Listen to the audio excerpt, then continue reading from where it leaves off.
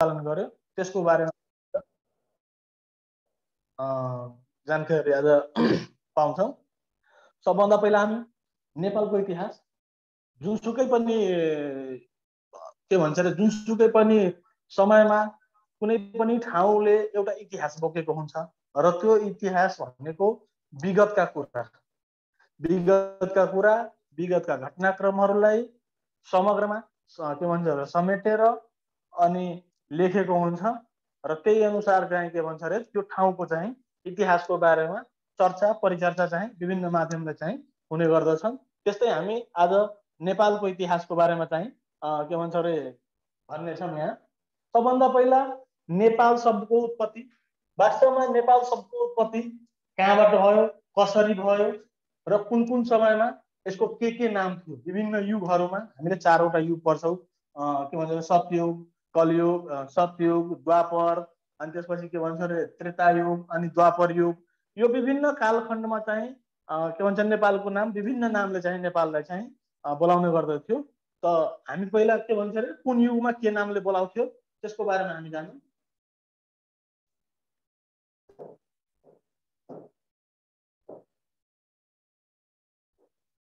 यहाँ यहाँ मैले लेखेको छु विभिन्न युगमा नेपालको नाम। सतयुगमा चाहिँ नेपाललाई सत्ययुगमा चाहिँ नेपाललाई सत्यवती भनेर बोलाउँथ्यो। सतयुगमा नेपाललाई सत्यवती भनिन्थ्यो। त्रेतायुगमा त्रेतायुगमा तपोवनको नामले चाहिँ चिनिन्थ्यो। त्रेतायुगमा राम रामको समय समावधि भनौँ न। राम भगवान् रामको जुन बेलाको समयावधि थियो त्यति बेला थियो।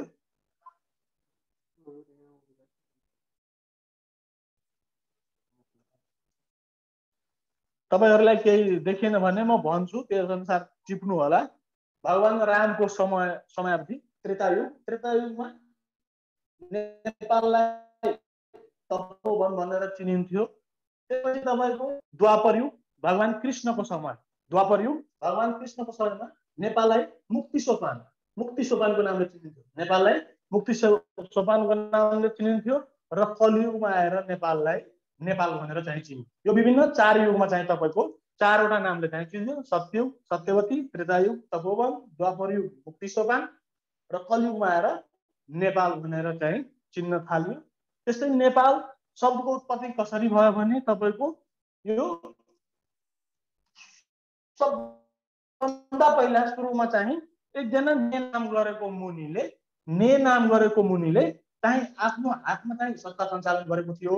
आफ्नो हातमा सत्ता सञ्चालन गरेको थियो र उनी चाहिँ मुनि भएको कारणले गर्दा उनका चाहिँ कुनै शाखा सन्तान चाहिँ भएन र शाखा सन्तान नभएपछि उनले के गर्यो भने त्यति बेला जबसम्म ऊ रह्यो आफ्नो हातमा चाहिँ सत्ता सञ्चालन गर्यो र पछि उसले अब यो सत्तालाई कुनै कुनै वंशमा जानुपर्छ भनेर चाहिँ त्यसरी गर्यो किनभने कसैले सत्ता सञ्चालन गर्न भने यो ठाउँ फेरि जस्तै सञ्चालन गर्नको लागि कसै न कसैलाई यहाँ राखेर तिनीहरूमा यो राज्य कार्यभार अनि पछि के भन्छ भने सत्ता सञ्चालन र पछि उसले के भन्छ भने भारतबाट गाई पालकहरूलाई चाहिँ बोलायो र गाई पालकहरूलाई बोलाइसकेपछि त्यो गाई पालकहरूबाट गरेको एकजना व्यक्तिलाई उहाँहरूले राज्य गर्दै गयो।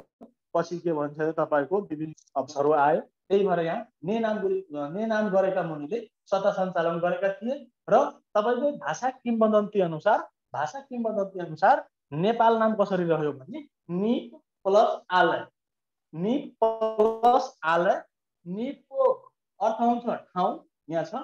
निपको अर्थ हुन्छ ठाउँ र आलयको अर्थ हुन्छ ताल होइन? निपको अर्थ हुन्छ ठाउँ आलयको अर्थ हुन्छ ताल त्यही भएर निप प्लस आलयबाट नेपाल शब्दको निप प्लस आलयबाट नेपाल शब्द। यो नेपाल शब्दको चाहिँ के भन्छ अरे? उत्पत्ति भएको हो।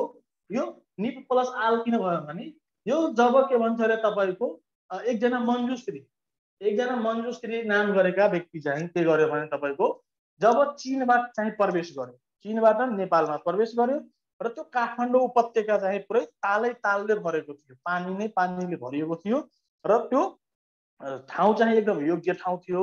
तालै तालले भरेको थियो र मञ्जुश्रीले के गर्यो भने कहाँ प्रवेश गर्यो भने चोभारको डाँडा चोभारको डाँडामा प्रवेश गर्यो काठमाडौँको चोभारको डाँडामा प्रवेश गर्यो र त्यहाँ चाहिँ उसले चक्र तीर्थ चक्र तीर्थ प्रहार गरेर चक्र तीर्थ प्रहार गरेर त्यहाँको पानीलाई चाहिँ त्यहाँबाट बगाउने काम गर्यो र पानी बगाइसकेपछि तपाईँको के भयो भने त्यहाँ बसोबास गर्ने ठाउँ केही र त्यहाँबाट पनि प्लस आले यो नेपाल रख्न गएको हो। तिब्बती भाषा अनुसार उनको घर उनको घर यहाँ तपाईँको कहीँ के हुन्छ भने यो पहिला चाहिँ नेपालमा के भन्छ अरे भेडाहरू पालन बढी हुन्थ्यो। र भेडाहरू पालन भयो भएको कारणले गर्दा यहाँ उन चाहिँ धेरै उत्पादन उन धेरै र नेपाललाई चाहिँ तिब्बती भाषामा उनको घर भनेर पनि भनिन्छ उनको घर पनि भनेर भनिन्छ त्यस्तै तपाईँको यो नेमुनी नेमुनीले भारतबाट गाई पालकहरूलाई बोलाएर सत्ता सञ्चालन गर्न लगाएको भन्ने कुरा पनि छ। र त्यही कारणमा पशुपतिनाथ मन्दिर हामी अहिले पनि के भन्छौँ अरे हामीलाई थाहा छ पशुपतिनाथ मन्दिर पनि त्यही बेला चाहिँ पत्ता लागेको हो पशुपतिनाथको पत्ता पनि त्यही बेलामा लागेको हो। त्यति बेला के हुन्थ्यो भने तपाईँको यो गाई पालकहरू गाई चराउन जान्थ्यो र गाई चराउन जाँदा चाहिँ के हुन्थ्यो एउटा गाई बहुरी नामक गाई होला बहुरी। यो इम्पोर्टेन्ट छ। बहुरी नामक गाईले दस बाह्र दिन पन्ध्र दिन चाहिँ दिएको थिएन। र त्यो गाई पालकहरूले यो गाईले किन दुध दिएन भनेर के भन्छ अरे अनुसन्धान गरेर थाल्यो? वास्तवमा अब के भन्छ अरे सधैँभरि सधैँ गाई चराउन जाउने अनि के भन्छ अरे साँझ आएर गाईलाई जब दुहुन जाँदा दुधै दिँदैन थियो गाईले किन दिएन भनेर एक दिन त्यो गाई पालकहरूले तपाईँको त्यो गाईको पछाडि पछाडि लागेर वास्तवमा यसले आफ्नो दुध कहाँ बगाउँदो रहेछ भनेर पत्ता लगाउनुको लागि त्यसको पछाडि पछाडि गयो र पशुपतिनाथको जुन ठाउँ छ नि मन्दिर छ नि अहिले त्यहाँ गएर गाईले आफ्नो दुध बगाउँदो रहेछ। त्यहाँ गाईले आफ्नो दुध बगाउँदो रहेछ। गाईले किन दुध बगायो त्यहाँ त? भनेर त्यो गाई पालकहरूले गाई चराउने मान्छेहरूले तपाईँको त्यहाँ उत्खनन गर्दा यसो माटो हटाउँदा उत्खनन गर्दा त्यहाँ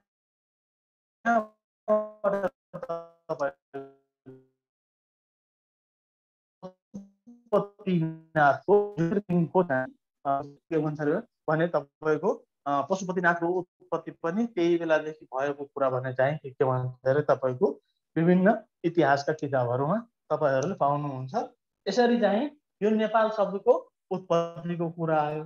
अब यसपछि हामीले नेपाल शब्दको उत्पत्तिको कुरा आउँदा अब नेपालको इतिहासमा कुन खाल कालखण्डमा कस कसले सत्ता सञ्चालन गर्यो त्यसको बारेमा हामी अब जान्दैछौँ अब यो यसमा चाहिँ तपाईँको विभिन्न वंशहरूले शासन सञ्चालन गरेको थियो। यहाँ मैले एउटा फिगर बनाउँछु सानो फिगर बनाउँछु। त्यो फिगर तपाईँहरू हेर्नु होला नेपालको इतिहास। यहाँ हामीले नेपालको इतिहास। नेपालको इतिहास। मैले एउटा फिगर बनाएँ यहाँ। लामो टिको भयो है तपाईँहरू बुझ्नु होला एउटा फिगर बनाएँ यहाँ चाहिँ तपाईँको, नेपालको एउटा हुन्छ, प्राचीन काल।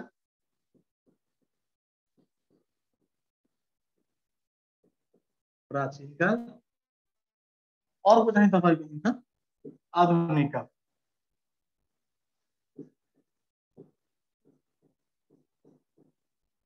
आधुनिक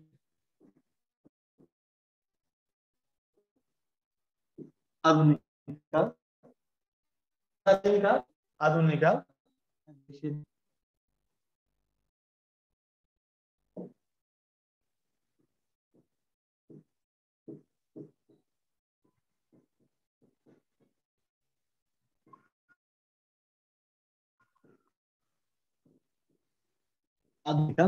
अब यो प्राचीन काललाई पनि विभिन्न कालखण्डमा बाँडेर हामी अध्ययन गर्न सक्छौँ। यो प्राचीन कालमा चाहिँ तपाईँको यो प्राचीन कालमा पनि केही के भन्छ काल वंशजहरू रहेका छन्। सर्वप्रथम तपाईँको गोपाल वंश गोपाल वंश गोपाल वंश त्यसपछि तपाईँको महिषपाल वंश यसलाई अभिर वंश पनि भन्छ। अभिर अहिर वा महिषपाल। महिष महिषपाल अभिर अहिर महिषपाल त्यसपछि तपाईँको किरात लिच्छवी किरात किरात त्यसपछि लिच्छवी लिच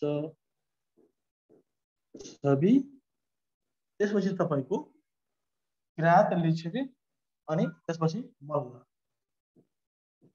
मल्लकाल वा मल्लवंशी यसरी चाहिँ भन्ने गर्न सक्छ। त्यस्तै आधुनिक कालको पनि तपाईँको यहाँ आधुनिक कालको पनि एउटा हुन्छ तपाईँको शाहकाल।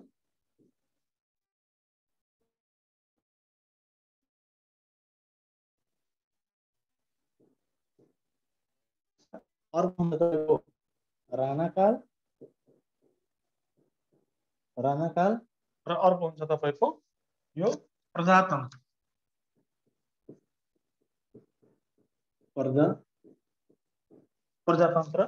यो चाहिँ तपाईँको यो राणाकाल चाहिँ उन्नाइस सय चारदेखि यो उन्नाइस सय विक्रम सम्म उन्नाइस सय चारदेखि सुरुवात भएको हो र प्रजातन्त्र काल चाहिँ तपाईँको दुई हजार सातबाट आएको हामीले चाहिँ यसरी नै यो प्राचीन कालमा गोपाल वंशको बारेमा हामी पढ्छौँ। गोपाल वंश के थियो कहाँबाट आएको थियो कसरी सन्तालनमा आयो त्यो कुरा त्यसपछि अभिर अहिर वा महिषपाल। तिनटै नामबाट पनि भन्छन्। अभिर पनि भनिन्छन् अहिर पनि भनिन्छन् र महिषपाल पनि भनिन्छन्। त्यसपछि तपाईँको किराँत कालका कुरा आउँछन्। किराँत कालमा पनि विभिन्न कस कसले शासन गर्यो भन्ने कुरा हामी पढ्छौँ। त्यसपछि तपाईँको लिच्छवी काल त्यसपछि मल्लकाल र पछि हामी आधुनिक काल पढ्दा चाहिँ यसमा चाहिँ हामीले अलिअलि यहाँबाट पनि जानकारी लिनुपर्ने हुन्छन्। यहाँ शाहकाल शाहकाल भनेको तपाईँको श्री पाँच र त्यो शाहवंशी राजाहरूले कसले कसले शासन गर्यो त्यसपछि त्यही बिचमा चाहिँ तपाईँको राणाकालका कुरा पनि आउँछन्। राणाहरूले कसरी शासन गर्यो र त्यसपछि तपाईँको दुई हजार सात सालको प्रजातन्त्र कसरी भयो र यो प्रजातन्त्रमा पनि तपाईँको विभिन्न इतिहासहरू रहेका छन्। यो प्रजातन्त्रको समयमा चाहिँ तपाईँको दुई हजार सात सालको विक्रमसम्म दुई हजार सातको क्रान्ति त्यसपछि तपाईँको दुई हजार पन्ध्र सालको आम निर्वाचन निर्वाचन। त्यसपछि तपाईँको दुई हजार छत्तिस सालको क्रान्ति सरी जन्मसङ्ग्रह दुई हजार छत्तिसको जनमत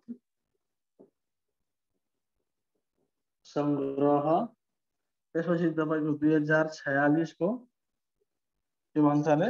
जनआन्दोलन जन आन्दोलन। त्यसपछि तपाईँको दुई हजार बैसठी बैसठी त्रिसठी बैसठी त्रिसठीको जनआन्दोलन।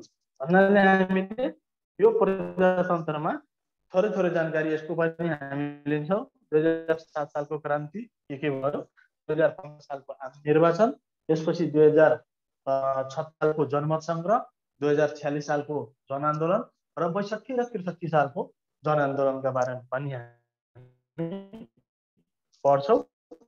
र यसरी चाहिँ यो गोपालको बारेमा गोपाल गोपालहरू को थियो कहाँबाट आएको थियो? हामी गोपालबाट सुरुवात गर्छौँ आज। म यिनीहरूलाई अलिक मेट्छु अब यो गोपाल वंशको यो हामी गोपाल वंश मात्रै पढ्छौँ अहिले यिनीहरूलाई मैले मेटेँ। गोपालको बारेमा हामी मात्र पढ्छौँ गोपाल वंशावली। यहाँ हामीले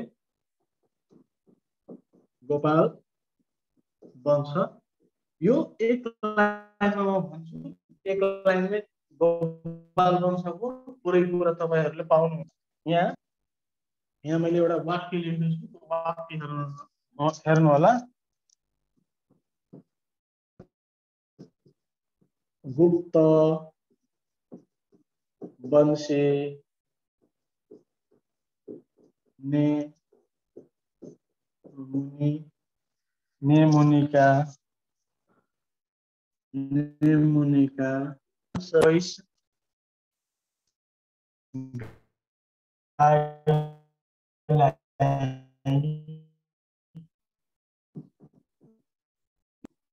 माता थमा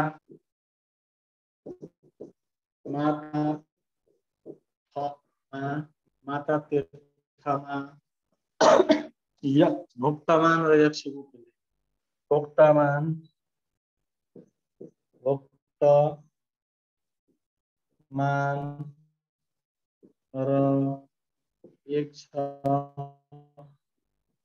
गुप्तले एक छ गुप्तले दुध दुध दुहे यो चाहिँ तपाईँको यो गोपाल वंशको भयो त्यसपछि अभिर वंशको यो अभिर अहिर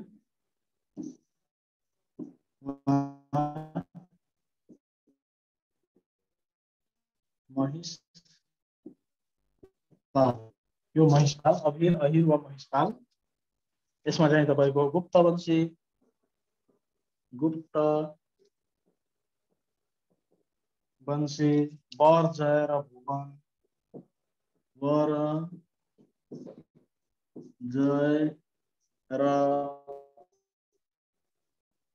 भुवन वर जय र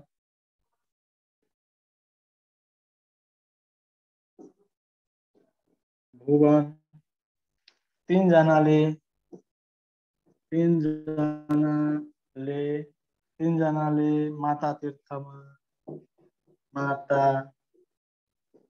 तीर्थमा एक सय एघार वर्ष एक सय एघार वर्ष भैँसी पालेका थिए। यसरी हो। गुप्तवंशी नेमुनिका पाँच सय एक्काइस गाईलाई माता तीर्थमा भक्तमान र यक्षगुप्तले दुध दुहेका थिए। गुप्तवंशी नेमुनिका पाँच सय एक्काइस गाईलाई माता तीर्थमा भक्तमान र यक्षगुप्तले दुध दुहेका थिए। यो चाहिँ अब तपाईँको यो नेपालमा सबभन्दा पहिले वंशको हिसाबले भन्नुपर्दा नेपालमा सबभन्दा पहिले शासन सत्ता सञ्चालन गरेको वंश कुन वंश हो भने गोपाल वंश हो। यहाँ गोपाल वंश हो र यसमा चाहिँ तपाईँको विभिन्न समयमा के भन्छ अरे तपाईँको यो यिनीहरूले वंशको हिसाबले कुन वंशका थियो भने गोपाल वंश पनि भन्छ र गुप्त वंश पनि भन्छ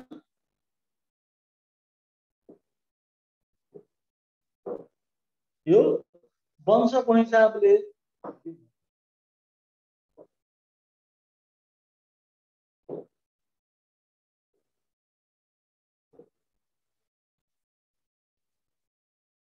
यहाँ तपाईँको वंशको हिसाबले यिनीहरू कुन वंशका थिए भने गुप्त वंश गोपाल वंश पनि भन्यो गुप्त वंश पनि गुप्त वंशी थियो यिनीहरू गुप्त वंशी थियो। के भन्छ अरे नेमुनिले सबभन्दा पहिले सत्ता सञ्चालन कसले गरेको थियो भने सत्ता सञ्चालन नेमुनिले गरेको थियो। यो पाँच सय एक्काइस भनेको तपाईँको पाँच सय एक्काइस वर्ष पाँच सय एक्काइस वर्ष शासन सत्ता सञ्चालन गरेको थियो। यहाँ मैले एउटा छोडेँ आठजनाले है यो तपाईँहरूले बुझ्नु होला आठजना आठजनाले यो आठजनाले पाँच सय एक्काइस वर्षसम्म शासन गरेको थियो। मुख्य पेसा के थियो भने यिनीहरूको गाई पालन मुख्य पेसा चाहिँ के थियो यिनीहरूको पेसा के थियो भने गाई पालन गरेका थिए पेसा मुख्य पेसा गाई पालन थियो कुन ठाउँमा चाहिँ के भन्छ अरे सत्ता सञ्चालन गरेको थियो भने माता तीर्थ भन्ने ठाउँ। कुन ठाउँमा सत्ता सञ्चालन गरेको थियो भने तपाईँको माता तीर्थ। माता तीर्थ शासन केन्द्र यो शासन केन्द्र हो। शासन केन्द्र। शासन केन्द्र कहाँ थियो भने माता तीर्थ हो। यो भुक्तमान भनेको को भने यो? यो गोपाल वंशको पहिलो राजा यो चाहिँ पहिलो राजा भुक्तमान। पहिलो राजा हो भने एक गुप्त एक गुप्त तपाईँको अन्तिम राजा यो अन्तिम अन्तिम राजा। यो एक गुप्त अन्तिम राजा यहाँ एक लाइनमा हामीले गोपाल वंशले के गर्यो भने गुप्त वंशी नेमुनिका पाँच सय एक्काइस गाईलाई सत्ता के भन्छ माता तीर्थमा भुक्तमान र यक्षगुप्तले दुध दुहेका थिए भन्नाले यो तपाईँको एसीमा छ अब तपाईँले भन्न सक्छ सब नेपालमा सबभन्दा पहिले शासन गरेको वंश कुन हो भने यो गुप्त वंशी वा गोपाल वंश भने पनि हुन्छ सबभन्दा पहिले शासन कसले गरेको थियो भने नेमुनिले गरेको थियो वा अनि नेमुनि अनि त्यसपछि गोपाल वंश पनि हो र गोपाल वंशको कतिजना ला कतिजना राजाले शासन गरे भने तपाईँको आठजना राजाले पाँच सय एक्काइस वर्ष आठजना राजाले पाँच सय एक्काइस वर्ष के भन्छ सत्ता सञ्चालन गरेको थियो। यिनीहरूको मुख्य पेसा के थियो भने तपाईँको गाई पालन। मुख्य पेसा के थियो भने गोपाल वंशीहरूको गोपालहरूको मुख्य पेसा गाई पालन थियो र यिनीहरूको शासन केन्द्र चाहिँ माता तीर्थमा। माता तीर्थमा यिनीहरूले शासन गरेको थियो। गोपाल वंशको पहिलो राजा गोपाल वंशको पहिलो राजा भुक्तमान थियो। भुक्तमान हो र अन्तिम राजाको हो भने तपाईँको स्वरूप यो गोपाल वंशको यति नै हो। अझै केही केही कुरा तपाईँहरूले सामान्य कुराहरू पनि अब इतिहास पत्रले पाउनुहुन्छ। तर हामीले के भन्छ अरे यो मुख्य कुरा चाहिँ यही नै हो। त्यसपछि तपाईँको के भन्छ अरे नेपालमा गोपाल वंशपछि कसले शासन गर्यो भने तपाईँको अभिर वंश अहिर वंश वा महिषपाल वंश। यो अभिर वंश पनि भनेर चिनिन्छ अभिर वंश अहिर वंश भनेर पनि चिनिन्छ र महिषपाल वंश पनि भनेर चिनिन्छ। यिनीहरू पनि वंशको हिसाबले कुन वंशको थियो भने गुप्त वंशी नै थिए। यिनीहरू पनि त्यही ग्वाला भन्थ्यो पहिला चाहिँ के भन्छ भने महाभारतहरू हेर्नु हेर्नुहुन्छ भने त्यहाँ तपाईँहरूले भन्नुहुन्छ अब यदुवंशी अहिले त धेरै भन्छ। यदुवंशी अहिर वंशी अभिर वंशी पनि भनिन्छन्। अहिलेको यादवहरू नै हो खासमा। तपाईँको यो यो अभिर वंशी पनि भनियो। तपाईँको यो वंशको हिसाबले यिनीहरूले गुप्त वंशकै थिए। र के भन्छ अरे पहिलो राजा। यो वर्षी भनेको पहिलो राजा हो। यो चाहिँ तपाईँको यो पहिलो राजा हो। फर्स्ट राजा यो हो वर्षी भनेको पहिलो राजा दोस्रो राजा भनेको यो जयसिंह हो र तेस्रो राजा भनेको यो भुवन सिंह भुवन सिंह बरसिंह जयसिंह भुवन सिंह जम्मा तिनजना राजाले यहाँ तिनजनाले कतिजनाले शासन गर्यो भने तिनजनाले कति के भन्छ अरे? कति दिनसम्म शासन गर्यो भने तिनजना राजाले एक सय एघार वर्ष शासन गरेका थिए। तिनजना राजाले एक सय एघार वर्ष शासन गरेका थिए। शासन केन्द्र कहाँ थियो भने त्यही माता तीर्थमै शासन केन्द्र थियो यिनीहरूको पनि यिनीहरूको पनि शासन केन्द्र कहाँ थियो माता तीर्थमा थिए यिनीहरूको मुख्य पेसा के थियो भने भैँसी पालन यिनीहरूको मुख्य पेसा के थियो भने भैँसी पालन फेरि यहाँबाट यहाँ कसरी सत्ता सञ्चालन आयो भने नि तपाईँको गोपाल वंशका अन्तिम राजा यक्षगुप्त निसन्तान भएर त्यहाँ यो कुरा पनि उल्लेख कतिपय तपाईँहरूले पाउनुहुन्छ गोपाल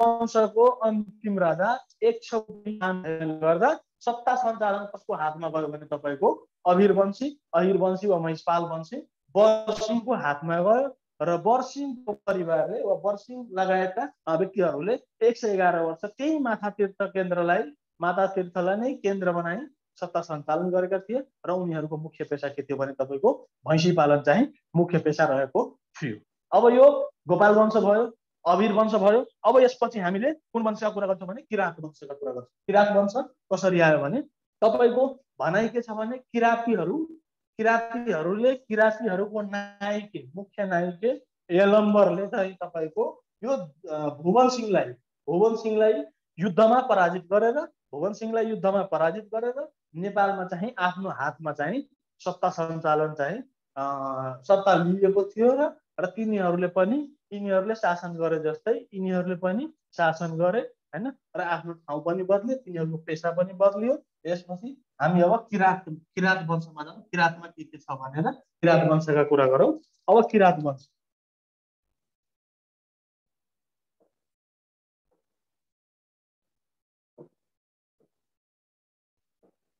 किराँत वंश। किराँत वंश।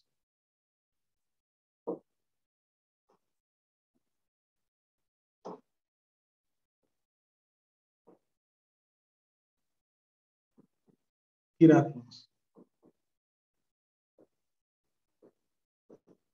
किरात वंशको कुरा गरौँ हामी किरात वंशहरूको शासन केन्द्र कहाँ थियो भने यिनीहरूको शासन केन्द्र कहाँ थियो भने गोकर्ण। यिनीहरूले युद्ध गरे तर शासन केन्द्र कहाँ बनाइदियो भने आफ्नो शासन केन्द्र गोकर्णमा बनाए। शासन केन्द्र शासन केन्द्र गोकर्ण। गोकर्णमा शासन केन्द्र चाहिँ गोकर्ण गोकर्णमा बनाए पहिलो राजा यिनीहरूको। पहिलो राजा यलम्बर यलम्बर अन्तिम राजा अन्तिम राजा गस्ती। अन्तिम राजा गस्ती हो। यसमा चाहिँ तपाईँको जम्मा बत्तिसजनाले बत्तिसजना बत्तिसजना राजाले पाँच सय छब्बिस वर्ष पाँच सय छब्बिस वर्ष शासन चलाएका थिए। शासन चलाएका थिए। बत्तिसजना राजाले पाँच सय के भन्छ अरे?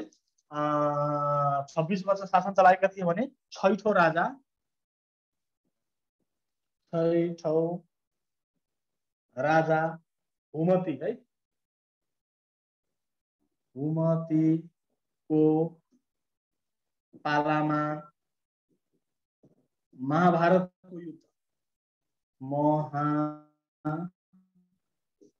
महाभारतको युद्ध। युद्ध भएको भन्ने इतिहास छ। त्यसपछि सातौँ राजा सातौँ राजा जिते दास जिते दास्ती जिते दास्तीको पालामा भगवान गौतम बुद्ध भगवान गौतम, बुद्ध, नेपाल आएको थियो। नेपाल आएको थियो, होइन? त्यसपछि चौधौँ राजा। चौधौँ राजा एस्थुङको एस्थुङको एस्थुङको पालामा पालामा पालामा भारतका सम्राट सम्राट अशोक अशोक नेपाल नेपाल आएका थियो त्यसपछि अशोक सम्राटले चाहिँ आफ्नो छोरी चारुमती, यहाँ अशोक सम्राटले सम्राट अशोकले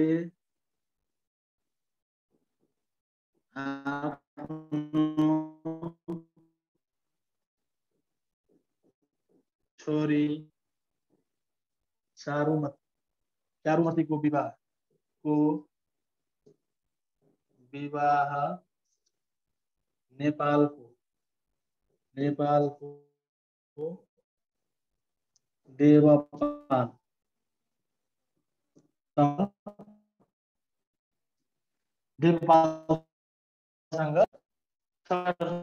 चारुमतीको विवाह नेपाल गरिदिएका थिए तपाईँको यहाँ किराँत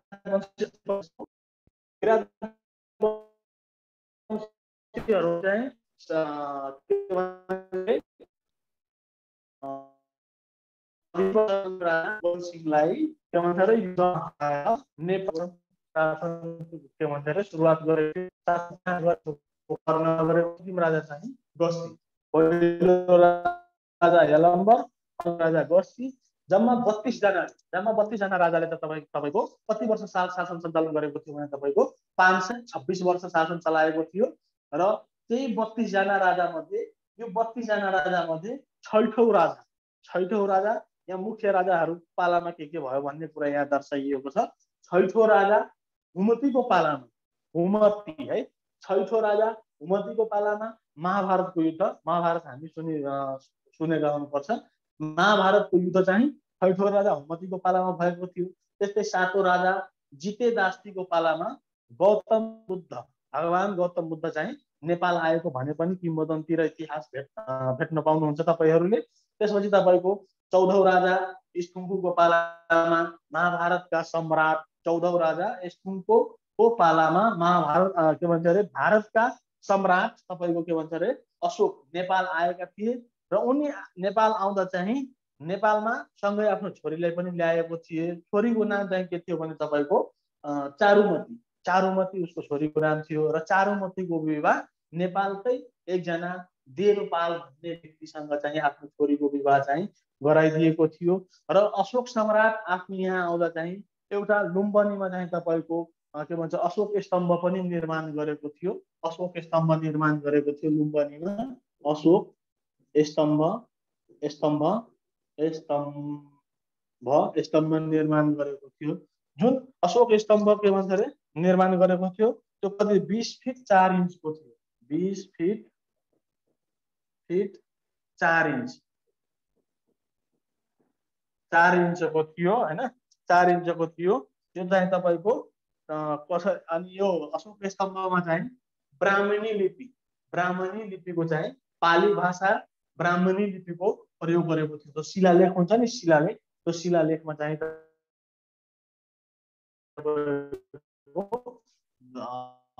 पाली भाषा पाली भाषा यो ब्राह्मणी लिपिमा लेखिन्छ। ब्राह्मणी लिपि ब्राह्मणी लिपिमा चाहिँ लेखिएको थियो।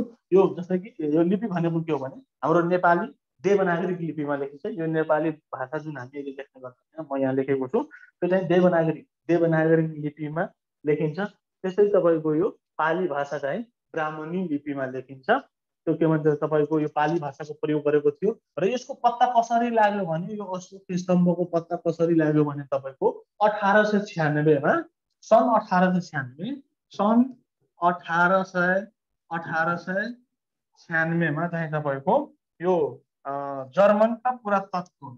जर्मन जर्मनको पुरातत्व विभागका एकजना के भन्छ अरे पुरातात्विक को नाम थियो भने डक्टर फुहर।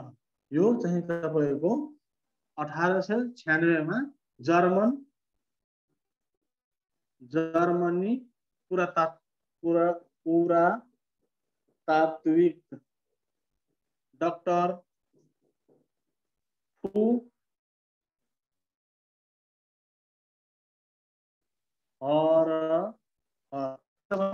क्रममा यो यो तपाईँको अशोक स्तम्भ लुम्बिनीको पत्ता कसरी लागेको भने तपाईँको सन् अठार सय छ्यानब्बेमा जर्मनीको पुरातात्विक विभागको एकजना पुरातात्विकले डा त्यसको नाम के थियो भने डक्टर फुहरहर डक्टर फुहरहरले चाहिँ तपाईँको के भन्छ अरे जब के भन्छ त्यहाँ जमिन खोज्ने काम गर्यो नि अनि त्यहाँ अशोक स्तम्भको पत्ता लाग्यो।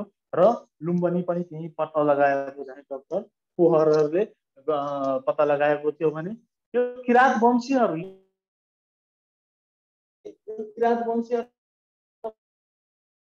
तपाईँको मुख्य यो धर्म तर हिन्दू र बौद्ध धर्म पनि चलन चल्तीमा थियो। यो किरा किराँत वंशीहरूले आफूले सायद धर्म मान्दा पनि त्यहाँ हिन्दू धर्म हिन्दू धर्म हिन्दू धर्म अनि के भन्छ अरे बौद्ध धर्म। बौद्ध। बौद्ध धर्म पनि के भन्छ अरे चलन चल्तीमा थियो। बढी मान्छेले चाहिँ मान्ने धर्म चाहिँ हिन्दू र बौद्ध धर्म थियो। यस्तै यसरी तपाईँको यति चाहिँ तपाईँको के भयो भने किराँत वंशीहरूको के भन्छ भने तपाईँको कसरी के भन्छ शासन सत्तामा आए र कसरी यिनीहरूले कतिजनाले मिलेर शासन सत्ता चाहिँ सञ्चालन गरेको थियो त्यो कुराहरू चाहिँ आयो। अब यो भइसकेपछि हामी लिस्वी वंशतिर जान्छौँ। यो किराँत वंशको मुख्य कुरा चाहिँ यो हो होइन? अझै केही केही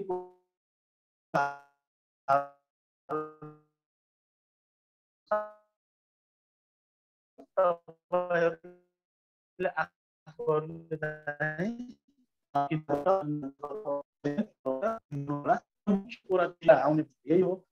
अझै कसैले केही थपेर पनि दिन्छ कसैले सटिक सटिक लेखेका पनि हुन्छन् होइन? यसरी हो। यो हो तपाईँको किराँत वंशको के भन्छ तपाईँको बारेमा के के छ भनेर। मुख्य हामीले मान्नुपर्ने शासन केन्द्र किराँत तपाईँलाई क्वेसन यसरी आउन सक्छ। यो किराँत वंशीहरूको शासन केन्द्र कहाँ थियो? तल दिएका मध्ये किराँत वंशीहरूको शासन केन्द्र कुन ठाउँमा थियो? होइन? कतिजना राजाले चाहिँ शासन सत्ता चलाएका थिए त्यस्ता क्वेसन कति वर्षसम्म शासन गरेका थिए होइन? पहिलो राजा को हो अन्तिम राजा को हो भनेर यसरी आउँछ। त्यसपछि महाभारत महाभारत कालका किराँती राजा को थियो वा कुन राजाको पालामा महाभारतको युद्ध भएको थियो? वा के भन्छ भगवान् गौतम बुद्ध नेपाल कहिले आएको थियो? त्यो कुरा हुन्छ। त्यसपछि तपाईँको के भन्छ भने जस्तै कि यो के भन्छ अरे? यो अशोक सम्राट अशोक चाहिँ नेपालमा कहिले आएको थियो कुन राजाको पालामा आएको थियो त्यसरी आउन सक्छ। अशोक सम्राटको छोरीको नाम थियो। अशोक सम्राटको छोरीको विवाह कोसँग भएको थियो। यसरी चाहिँ तपाईँको यो के भन्छ अरे यसरी नै के भन्छ अरे युद्धमा क्वेसन आउन सक्छ। र यो गौतम बुद्धको कुरा गर्दा चाहिँ यसरी भयो। यो गौतम बुद्धको बुवाको नाम चाहिँ सुदोधन थियो भने माताको नाम के थियो भने माया देवी तपाईँहरूले त्यो पनि सम्झिनु होला। गौतम बुद्धको बुवा सुदोधन राजा सुदोधन थियो र आमाको नाम चाहिँ माया देवी चाहिँ थियो। यसरी चाहिँ तपाईँको के भन्छ अरे यो चाहिँ तपाईँको किराँत वंशको कुरा आयो। अब किराँत वंशपछि हामीले के भन्छ भने लिच्छवी वंशमा जान्छ। लिच्छवी वंश। अब लिच्छवी वंशको बारेमा हामी पढ्छौँ यहाँ। यहाँ लिच्छवी वंश।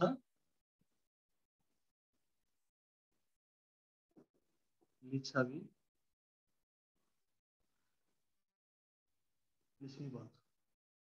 अब हेर्नुहोस् यो लिच्छवी वंशको के भन्छ अरे तिनीहरू यिनीहरू पनि के भन्छ अरे कहाँबाट आएको थियो भने तपाईँको लिच्छवीहरू पनि भारतबाटै थियो हामीले जुनसुकै कुरा पढ्दा चाहिँ यहाँ प्राय पहिलो वंशावलीको कुरा गर्दा जुनसुकै वंशको शासन पनि तपाईँको तिनीहरूले के भन्छ कहाँबाट आएको थियो भारतबाट नै उल्लेख गरेको पाइन्छ। भारतबाट नै आएको थियो यहाँ तालै ताल पहाडै पहाडले चाहिँ थियो होइन? साना साना टुक्राहरूमा विभाजित थियो र त्यहाँ मान्छेहरू बसोबास गर्ने ठाउँ चाहिँ उपयुक्त थिएन।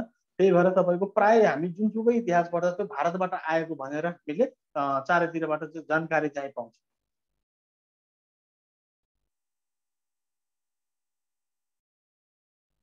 के भयो? अक्षर देखिए छैन।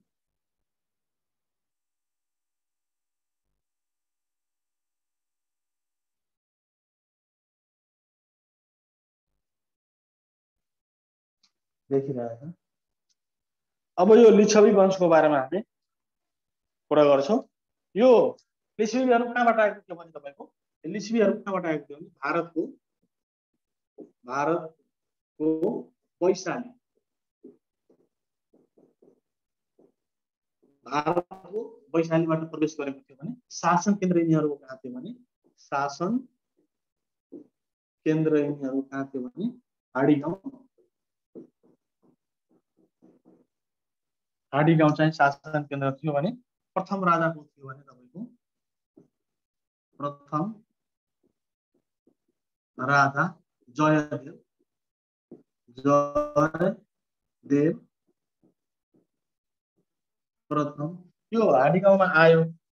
आठ सय वर्षसम्म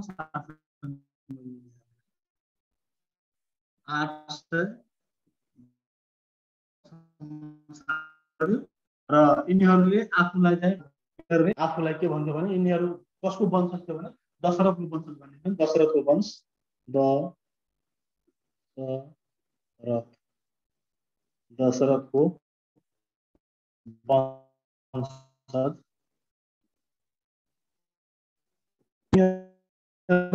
आफूलाई कसको वंश थियो भने दशरथको वंश मलाई जयदेव प्रथम भने मुख्य भने मुख्य भाषा चाहिँ मुख्य मुख्य भाषा संस्कृत संस्कृत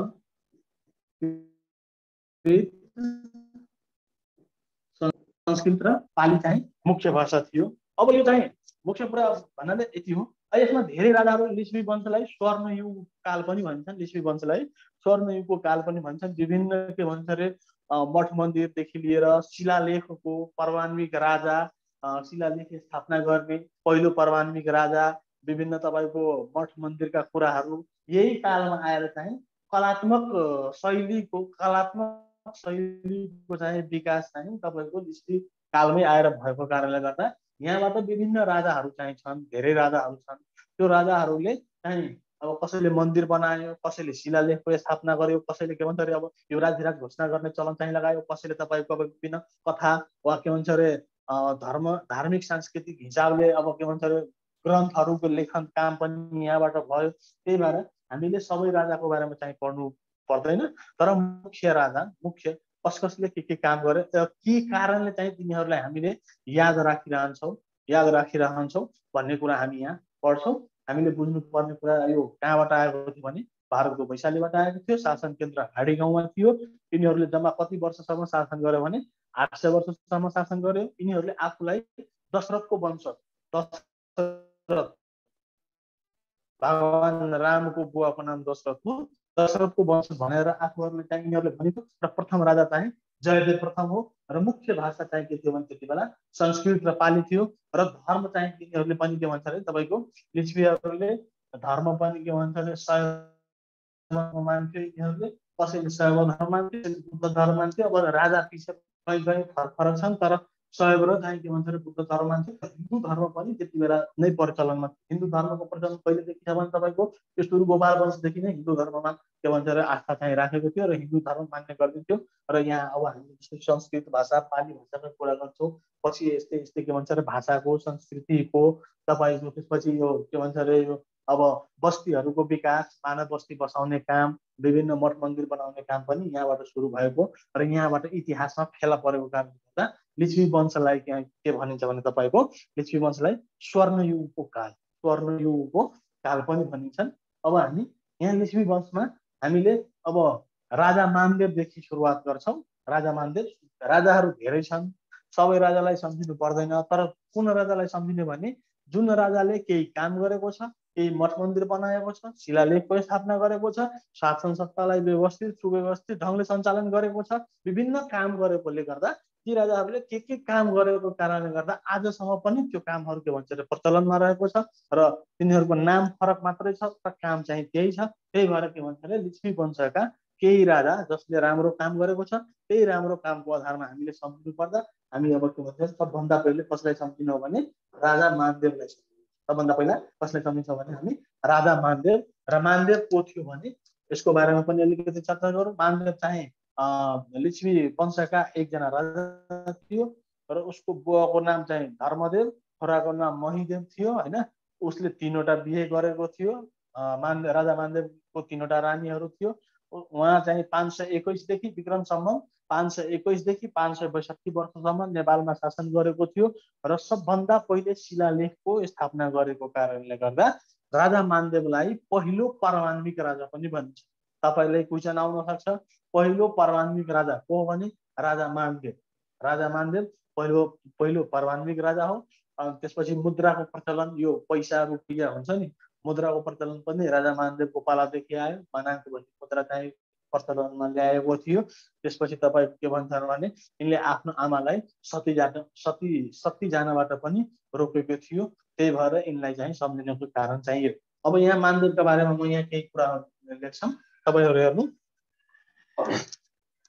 एउटा वाक्य लेख्छु। यहाँ केही केही कुराहरू छ त्यो वाक्य वाक्य यहाँ जुन वाक्य मैले लेख्छु नि त्यो वाक्यहरूलाई तपाईँहरू सम्झिनु है। त्यो वाक्य एकदम इम्पोर्टेन्ट सम्झिनको लागि केही कुरा। त्यो वाक्य याद गर्नुभयो भने त्यो वाक्यबाट तपाईँहरूले धेरै कुरा त्यहीँबाट थाहा हुन्छ। किनभने त्यो वाक्य मैले लेख्नुको मूल कारणै त्यही हो। अब तपाईँ हामीले धेरै याद गर्नुभन्दा त्यो एउटा वाक्य याद गर्यो भने ठ्याक्कै त्यो कुराहरू हामी सम्झिन्छौँ। र त्यो कुरा सम्झ्यो भने ठ्याक्कै इक्जाममा वा कुनै ठाउँमा क्वेसन आउँदा पनि ठ्याक्कै वाक्य सम्झेपछि त्यो कुरा चाहिँ यहाँ। अब यहाँ हेर्नु। बाबु धर्म बाबु धर्म।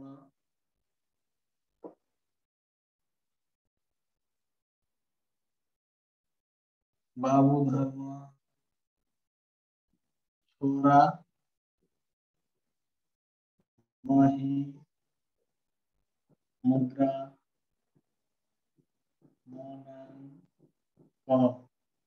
बाबु धर्म छोरा मही मुद्रा मानाङ्क मानगिरीको निर्माण गर्ने मान मान गृहको निर्माण गर्ने निर्माण निर्माण गर्ने परमाणविक राजा प्रमाण प्रमाण परमाणविक राजा बाबु धर्म छोरामही मुद्रा मानाङ्क मानगिरीको निर्माण गर्ने परमाणविक राजा चाङु नारायण मन्दिर। चागु नारायण मन्दिर नाग र नाग र बासुकी पूजाको छ। पूजाको छ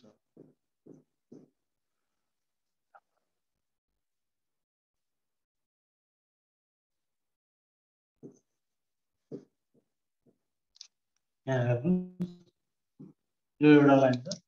बाबु धर्म छोरा मही मुद्रा मानाङ्क मानगिरीको निर्माण गर्ने परमान्विक राजा चाङ्गो नारायण मन्दिर नागरा भासुकी भन्नाले मानदेवको बुवाको नाम यो मानदेवको बुवाको नाम के हो भने तपाईँको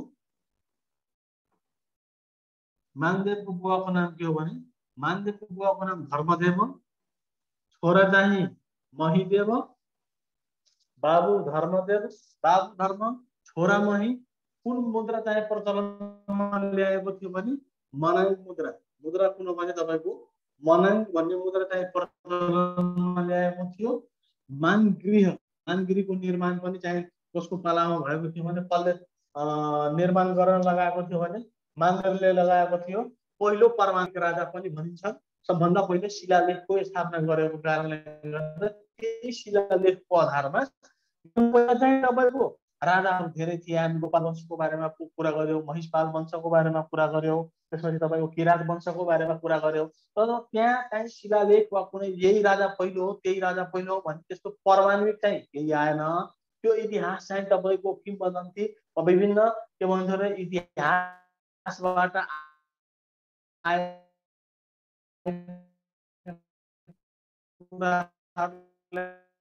त्यसरी होइन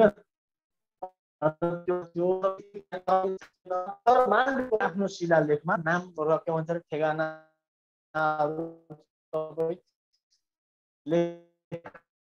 आएको कारणले गर्दा यो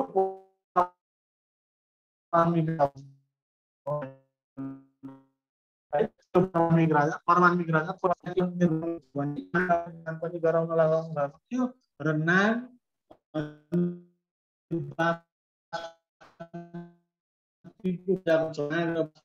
पनि चाहिँ तपाईँको नाग र बासुकीको पूजा गरिन्छ गरिन्छ नाग पञ्चमीमा हामीले नाग र बासुकीको पूजा गरिन्छौँ नि। हो त्यही हो तपाईँको। नाग र बासुकीको पूजाको चलन पनि के भन्छ अरे मानदेवकै पालादेखि आएको हो। र मानदेवले नै के भन्छ अरे तपाईँको नाग र बासुकीको पूजाको चलन चाहिँ चलाएको थियो। यसरी चाहिँ हो। त्यसपछि तपाईँको उहाँको अन्य कुराहरू पनि म यहाँ लेख्छु एउटा ट्रेङ्गलको माध्यमबाट तपाईँहरूलाई म सिकाउँछु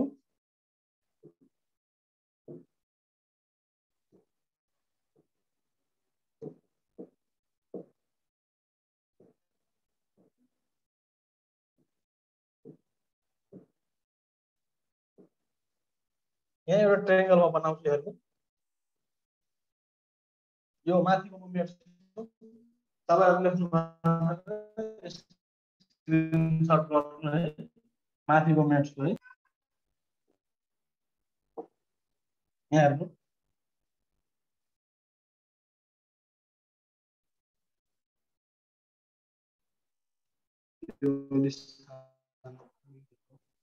अलिक ठुलो बनाऊ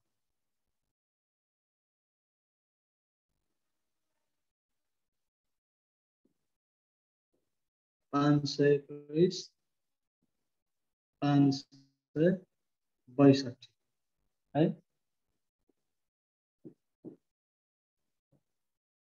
पाँच सय एक्काइस यहाँ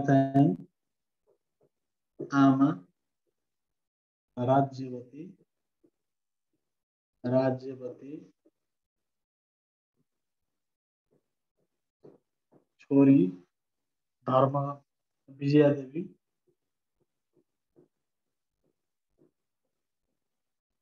विजया देवी इनको आमाको नाम राज्यवती थियो छोरी विजया देवी थियो तिनजना श्रीमती थियो मानदेवको तिनजना श्रीमती भोगडी भोगनी गुणवती गुणवती क्षमा सुन्दरी क्षमा क्षमा सुन्दरी शासन केन्द्र कहाँ थियो भने तपाईँको? शासन केन्द्र चाहिँ विशालनगर। विशालनगरमा के भन्छ अरे? तपाईँको के भन्छ अरे? शासन केन्द्र थियो। आमा राज्य आमा राज्यपति हो भने अब धर्मदेव दाई के भन्छ तपाईँको? धर्मदेव को हो भने तपाईँको? बुवा। यहाँ आमा एउटा यहाँ मैले कलम थपेँ। बुवा पनि यहाँ लेख्न सजिलो हुन्छ। बुवा बुवा चाहिँ धर्मदेव। धर्मदेव अघि पनि मैले लेखाइदिएको हुन त। अब यो छोरी यो हो अनि छोरा पनि। छोरी विजयादेवी छोरा अब महिदेव। छोरा महिदेव यो भयो। त्यसपछि तपाईँको यो तपाईँको अब मान्देवको हामीले किन याद राख्नुपर्छ भने याद राख्नु किन याद गर्नुपर्ने हुन्छ भने याद किन राख्ने? किन राख्ने? मानदेवलाई हामीले किन याद गर्नुपर्छ भने तपाईँको मानदेवलाई हामीले किन याद गर्नुपर्छ भने आमालाई सतीबाट आमालाई आमालाई सती जानबाट रोकेकोले जानबाट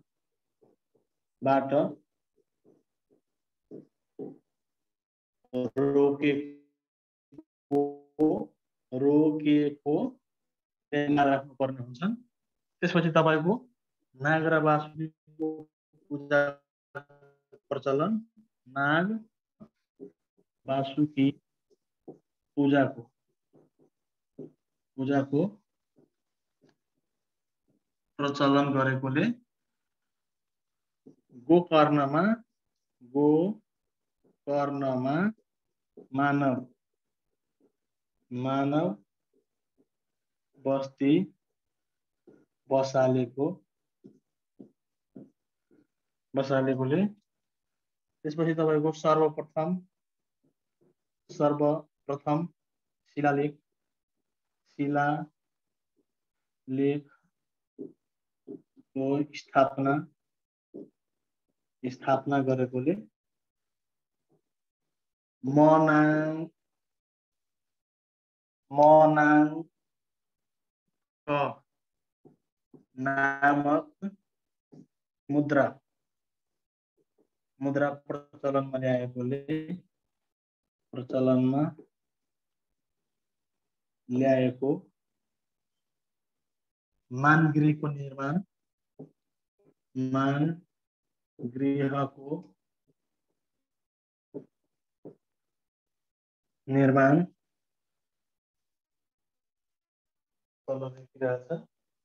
मान गृहको निर्माण चाङ्गु नारायण मन्दिर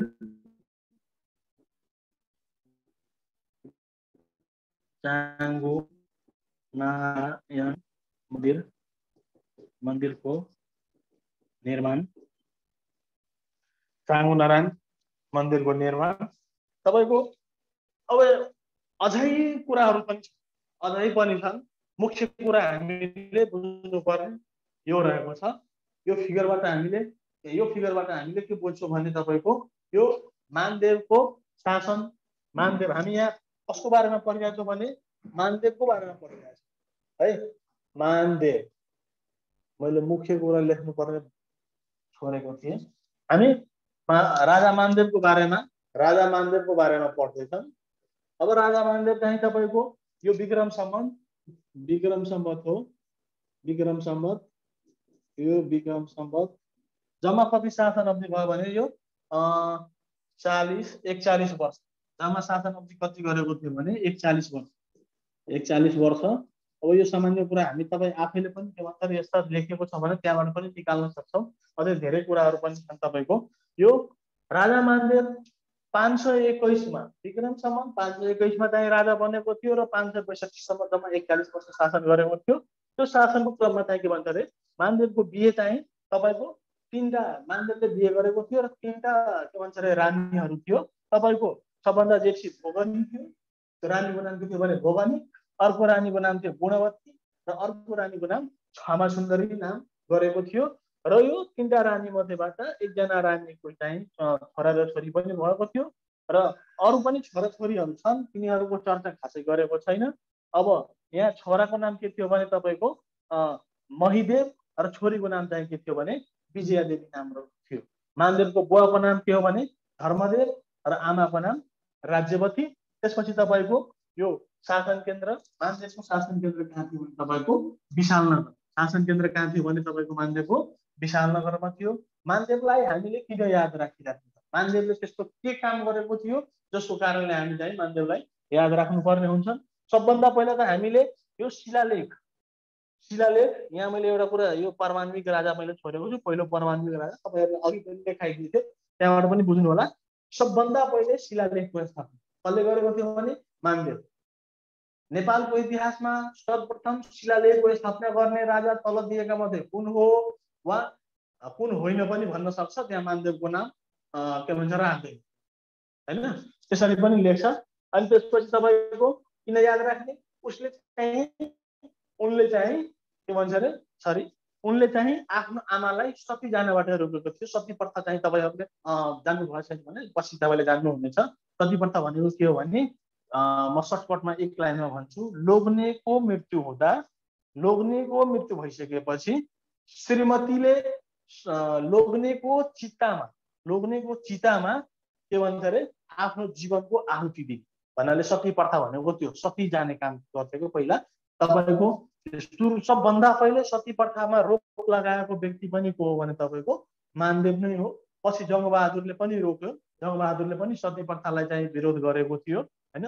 त्यसपछि चन्द्र शमशेरले पनि त्यसको बारेमा के भन्छ अरे विरोधका कुराहरू जनाएका थिए। पछि हटाइ पनि दिएको हो सती प्रथालाई तपाईँको यो आमालाई सती बाट रोकेको थियो त्यस कारणले पनि हामी मानदेवलाई सम्झिनु नाग र बासुकीको पूजा नाग र बासुकीको पूजाको प्रचलन पनि ल्यायो। त्यसपछि गोकर्णमा मानव बस्ती पनि बसायो। मानव बस्ती कहाँ बसालेको थियो भने केही घरधुरी बनायो केही आफ्नो के भन्छ राज्यबाट राज्यबाट लगानी गरेर घर त्यहाँ बनाइदिने र मान्छेलाई बोलाइ बोलाइ त्यहाँ के भन्छ भने मानव बस्ती मानव बस्ती चाहिँ विकास गर्ने। त्यसपछि सर्वप्रथम शिलालेख स्थापना अघि भनिसके। मनाङ नामक मुद्राको प्रचलन। सबभन्दा पहिला मनाङ के भन्छ? कारोबार केमा गर्ने त? जस्तै कि अहिले हामी जान्छौँ झट्ट गोलीबाट दुई सय चार सय पाँच सय निकाल्छौँ र फट्ट सामान लिएर हामी त्यहाँबाट जान्छौँ भन्नाले त्यति बेला चाहिँ तपाईँको अन्नबाट त्योभन्दा पहिला अन्न लिएर जान्थ्यो र त्यहाँ अन्नको बादलामा उसले अझै केही कुरा चाहिँ खानेकुरा लगाउने लुगा वा अझै केही ल्याउनु पर्छ भने त्यस्तो व्यवस्था रहेको थियो। र त्यति बेला मानदेवले चाहिँ के गर्यो भने मनासको मुद्रा प्रचलनमा ल्याउने बरु त्यो मुद्रा भयो भने मान्छेले अब मानौ एक एक पैसा वा एक रुपियाँ लिएर जाँदा चाहिँ मान्छेलाई गाह्रो लाग्दैन। तर त्यही यति धान यति चामल बोकेर लानु पर्दा अलिकति गाह्रो हुन्थ्यो। जनताहरूको अब के भन्छ त्यस्ता त्यसलाई सजिलो पार्नको लागि सर्वप्रथम तपाईँको के गर्यो भने यो मुद्राको पनि प्रचलनमा ल्यायो त्यहाँ मान्छेले मुद्रा थोरै थैलीमा राखेर थैलोमा राखेर वा खल्तीमा राखेर वा गम्सा सम्सा केहीमा बाँधेर पनि लान मिल्छ। मानाङ्क्रामा मुद्राको प्रचलनमा ल्यायो। त्यस कारणले पनि हामीले याद गर्नुपर्ने हुन्छ। त्यसपछि मानगिरीको निर्माण मानगिरीको निर्माण पनि मानदेवले गरेको थियो।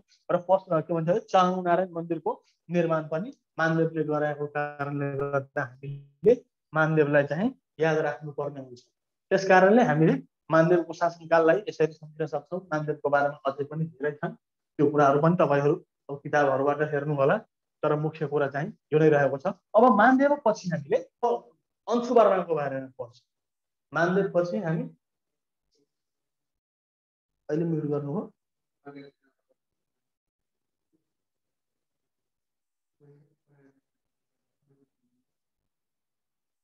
त पाँच मिनट दुई चार मिनट यहाँ म्युट गरेँ है केही प्राविधिक एउटा टेक्निकल केही भयो पाँच मिनट हामी म्युट गरौँ। Hello sir.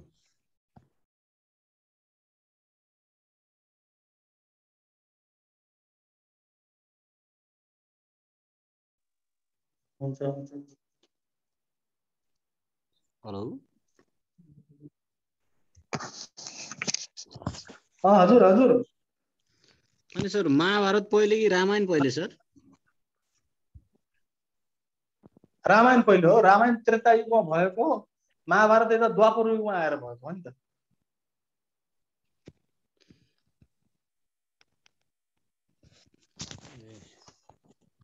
अरू कसैको केही छ?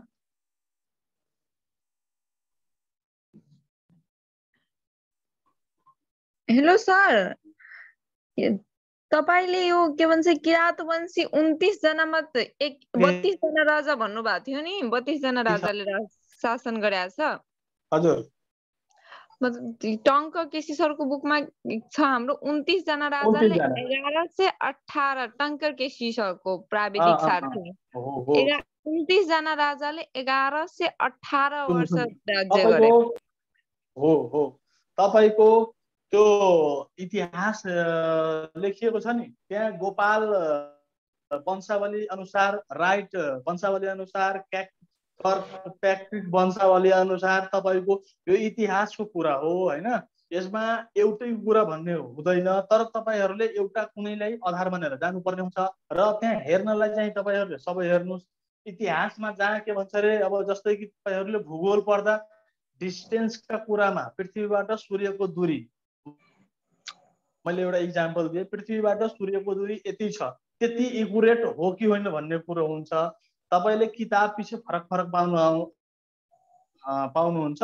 राइट ब- राइट वंशावली अनुसार के भन्छ अरे बत्तिसजना राजाले पाँच सय छब्बिस वर्ष शासन गरेको भन्ने कुरा हुन्छ है। त्यसरी त्यो विभिन्न वंशावलीमा कसैकोमा उन्तिस पनि लेखेको छ जस्तै अब पनि टङ्क त्यही छ। किसिमको किताबमा 29 लेखेको छ। अनि तपाईँको के भन्छ अरे अब यहाँ पनि त्यही छ सर इतिहासका राइट अनुसार उन्तिस जना किराँती राजाहरूले नेपालमा। एघार सय अठार वर्ष राज्य गरेको छ त्यही कन्फ्युज भयो तपाईँको त्यो अब गोपाल वंशावली अनुसार छुट्टै इतिहास छ राइट वंशावली अनुसार छुट्टै छ त्यस्ता छुट्टा छुट्टै भएको कारणले गर्दा कहीँ कुनै ठाउँमा तपाईँले पाँच सय छब्बिस वर्ष उन्तिस बत्तिसजनाले पाउनुहुन्छ कहीँ उन्तिसजनाले अँ, कति रे एघार सय कति भन्नुभयो? अठार। एघार सय अठार पनि पाउनुहुन्छ। त्यस्तो पनि लेखेको पाइन्छ। त्यो आफैमा के भन्छ इतिहास भनेको कस्तो हुन्छ भने नि एक किसिमको इतिहासमा यही इकुरेट छ भन्ने कुरा हुँदैन होइन? तर हामीले कुनै एउटालाई आधार मानेर जानुपर्ने हुन्छ। हामीले पढ्नलाई चाहिँ अरूलाई पनि सम्झिने गरौँ। त्यहाँ अप्सनमा पनि भर पर्छ। भोलि पर्सि तपाईँको त्यो एघार सय अठार अप्सनमा नआएर तपाईँको पाँच अप्सनमा आयो भने के गर्नुहुन्छ?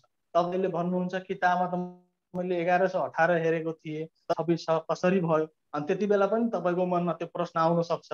भन्नाले हामीले आधार त्यहाँ हुन्छ दुई तिनवटा पनि हुन्छ त्यो दुई तिनवटा पनि सम्झिनु पर्ने हुन्छ। तर त्यस्ता सस् सस्पेन्सन भएको क्वेसन चाहिँ प्राय आउँदैन।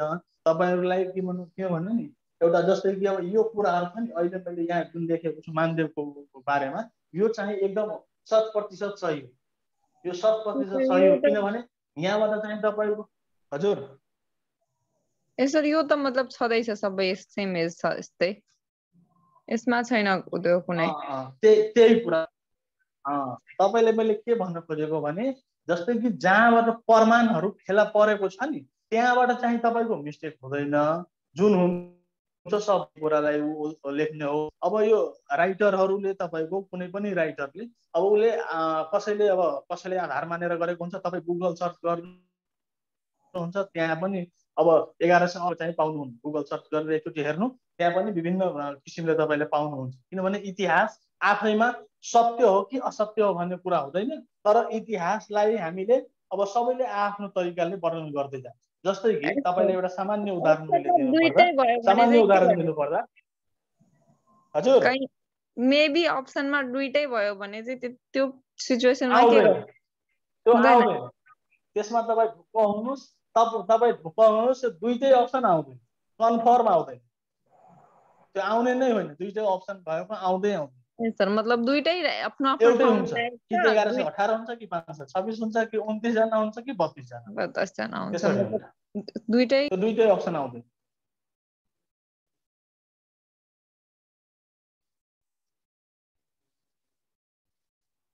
अरू कसैलाई छ कन्फ्युजन नभए त लास्टमा दस दस पन्ध्र मिनट हामी दिन्थे त्यहाँ केही कन्फ्युजन पर्यो भने।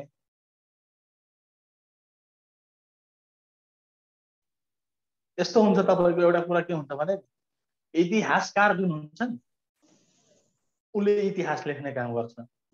र इतिहासकारले राम्रोलाई राम्रो पनि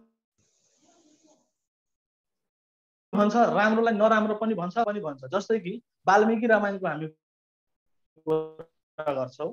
वाल्मिकी रामायणको कुरा रामलाई राम मर्यादा पुरुषोत्तम बनाइदियो। रावणलाई पाखण्डी के भन्छ क्रुर बनाएको त्यो हामी तपाईँले त हेरेको त होइन त्यो। हामीले गर्ने के हो भने हामीले हेर्ने भनेको इतिहास नै हो। पढेको नै हेर्ने। रावण पनि त आफ्नो ठाउँमा एउटा महापण्डित थियो। महापण्डित नै थियो। र रावण अब उसको परिस्थिति त्यस्तो आयो कि उसले सीता हरण गर्नु पर्यो। अब रावणको बहिनीलाई लक्ष्मणले नाक काटिदिँदा कसको भाइ के भन्छ अरे चुप भएर बस? कसैले त चुप भएर बस्दैन। उसले पनि आफ्नो बदला लिनको लागि सीतालाई त्यहाँबाट हरण गरेर लिएर गयो। अनि रावणको चरित्र रामायणमा जहाँ पनि त्यस्तै उल्टो चरित्र देखाएको छ। तर रामचरित्र मानस छ अझै किताब अर्को अर्को पनि किताबहरू छन् विद्वानहरूले लेखेका छन्। त्यहाँ पढ्नुहोस् रामलाई पनि र रावणलाई पनि एकदम राम्रो तरिकाले के भन्छ भने त्यहाँ स्पष्टीकरण खोजी खोजी लेखी लेखी त्यहाँ बनाएको छ। जस्तै कि दक्षिण भारतमा जानुहोस् तपाईँले के भन्छ भने रावणको पूजा अलिकति त्यहाँ हुन्छ। श्रीलङ्कातिर जानुहोस् रावणको पूजा पनि गरिन्छ। त्यहाँको मान्छेले रावणलाई देउता भनेर पुजिरहेका छन्। यहाँको मान्छेले रावणलाई त्यस्तो भन्नाले इतिहास लेख्ने व्यक्ति जुन हुन्छ नि त्यसको हातमा धेरै पावर हुन्छ।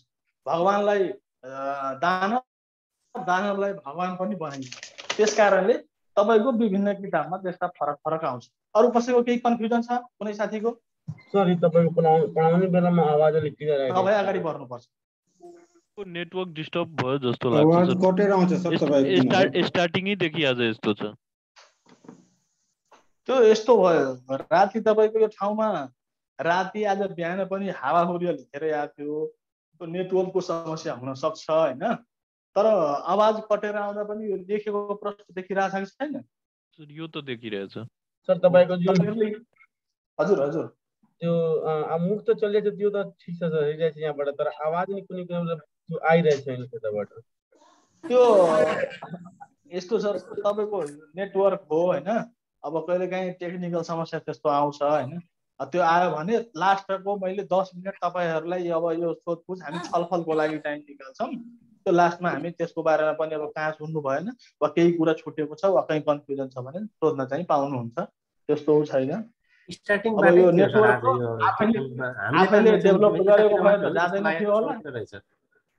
हजुर। स्टार्टिङबाट बाट देख्ने थियो कि सर। हामीले चाहिँ हाम्रो मात्र छ कि जस्तो लागेको थियो चाहिँ मेरो मात्र हो कि जस्तो लागेको थियो चाहिँ मलाई उहाँ चाहिँ सबै साथीहरूको नै त्यस्तै स्टार्टिङबाट नै थियो। ठिक छ त्यो कुरालाई अब त्यो अब नेटवर्कको कुरो हो अब नेटवर्क कहिले यस्तो हुन्छ कहिले काहीँ। अब त्यस्तो त नहुनु पर्ने कहिले काहीँ। नेटवर्कले हो प्राविधिक कारण मात्रै हो। यहाँ त हामी टेक्निकल यहाँ क्लास दिने र लिनेले त काटी काटिकन त नबोल्ने होला। अब के भन्छ र सबै हामी बोलेको कहीँ कहीँ डिस्टर्ब भयो भने लास्टमा त सोध्नु होला है।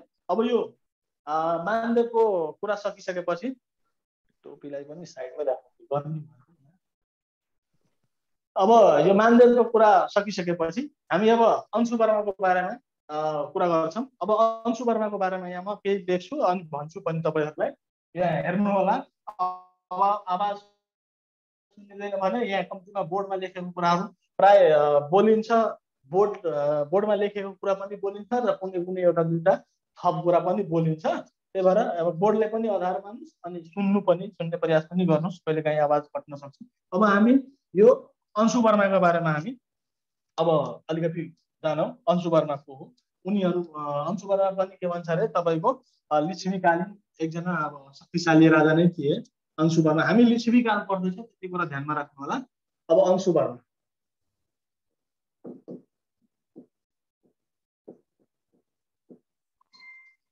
यहाँ पनि मैले एउटा के भन्छ लाइन बनाएको छु होइन?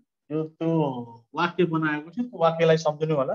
यो छ सय बैसठीदेखि छ छ सय बैसठीदेखि छ सय अठहत्तरसम्म सम्म सोह्र वर्ष। सोह्र वर्ष हुन्छ है? बैसठी दस छ सोह्र वर्ष। छ सय बैसठीदेखि विक्रमसम्म छ सय बैसठीदेखि छ सय सो छ सय अठहत्तरसम्म जम्मा शासन अवधि कति हो भने सोह्र वर्ष हो। एउटा म यहाँ वाक्य लेख्छु एउटा अनुच्छेदै लेख्छु विक्रम सम्बर छ सय बैसठीदेखि छ सय अठहत्तरसम्म। जम्मा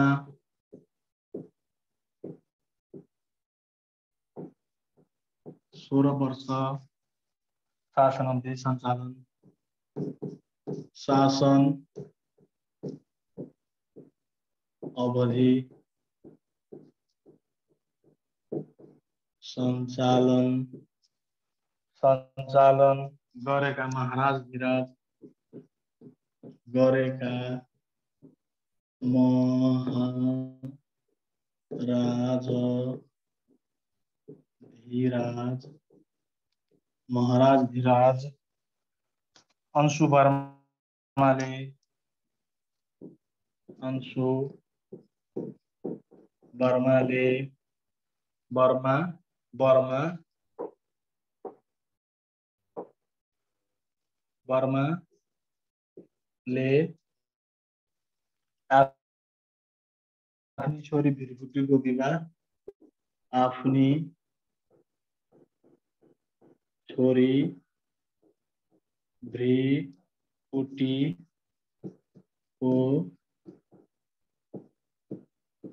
विवाह तिब्बत तिब्बत का शासक तिब्बतका शासक श्रङ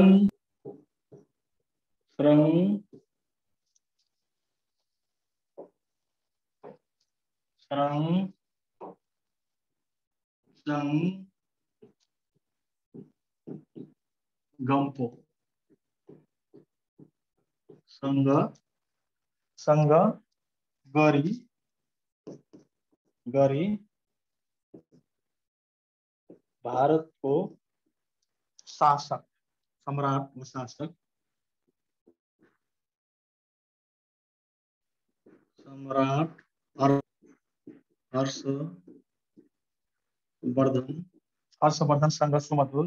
हर्षवर्धन सँग सुमधुर।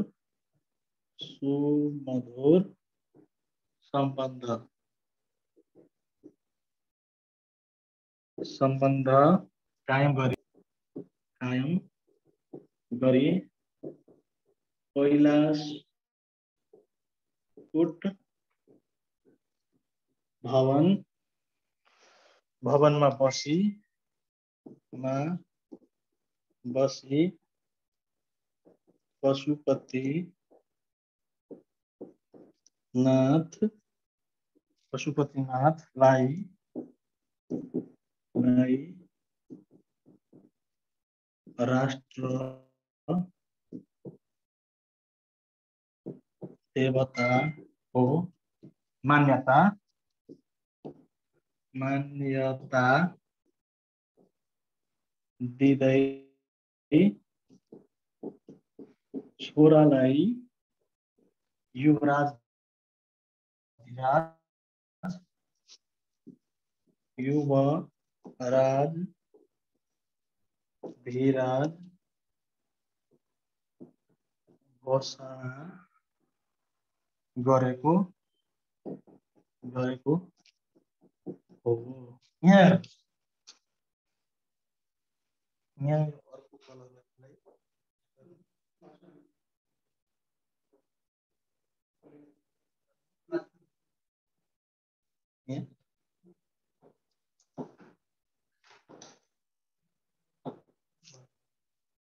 अब यहाँ हेर्नुहोस् है यहाँ अंशुबारमा छ सय अवधि कहिलेदेखि कहिलेसम्म हो भने छ सय बैसठीदेखि छ सय अठहत्तरसम्म जम्मा सोह्र वर्ष शासन गरेको हो। यहाँ तपाईँहरूले यो शासन अवधि छ सय बैसठीदेखि छ सय अठहत्तरसम्म कति वर्ष शासन गरेको हो भने? सोह्र वर्ष शासन गरेको हो। त्यसपछि उहाँले उहाँको पालादेखि अंशुवर्माको पालादेखि महाराज धिराज भन्ने छ महाराज धिराज भन्ने शब्दको के भन्छ? प्रचलन कहाँबाट आएको भने अंशुवर्माको शासनकालदेखि उहाँले आफूलाई मह महाराज हुन्छ महाराज धिराज महाराज धिराजको चाहिँ शब्दलाई प्रचलनमा ल्यायो र राजालाई महाराज धिराज फलानु महाराज धिराज अंशुवर्मा भनेर सम्बोधन गर्नुपर्छ भन्ने कुरा चाहिँ उहाँको पालादेखि आएको हो। अंशुवर्माको छोरीको नाम के हो भने छोरीको नाम के हो भने तपाईँको ब्रिकुटी ब्रिकुटी तपाईँहरूलाई यो थाहा छ ब्रिकुटी चाहिँ छोरीको नाम हो र के भन्छ अरे उनको विवाह भृकुटीको विवाह तिब्बतका तत्कालीन शासक।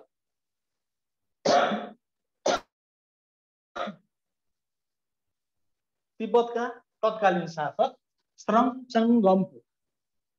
तिब्बतका तत्कालीन शासक श्रमचङ्गम्पोसँग चाहिँ विवाह गरेको थियो र त्यति बेला चाहिँ भारतको के भन्छ अरे तपाईँको सम्राटको थियो भने सम्राटको थियो भने हर्षवर्धन।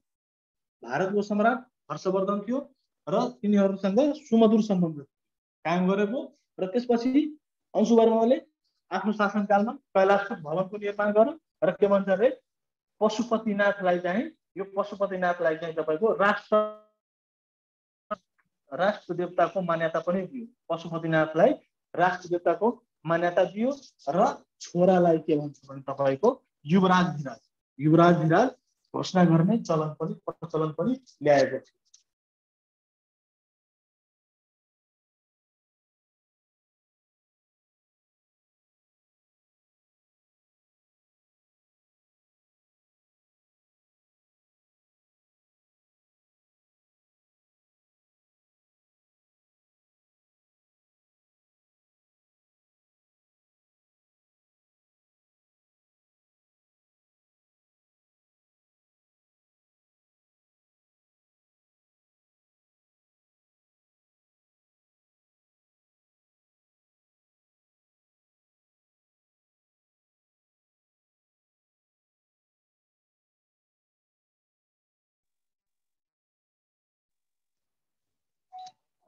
आवाज सुनिरहेछ?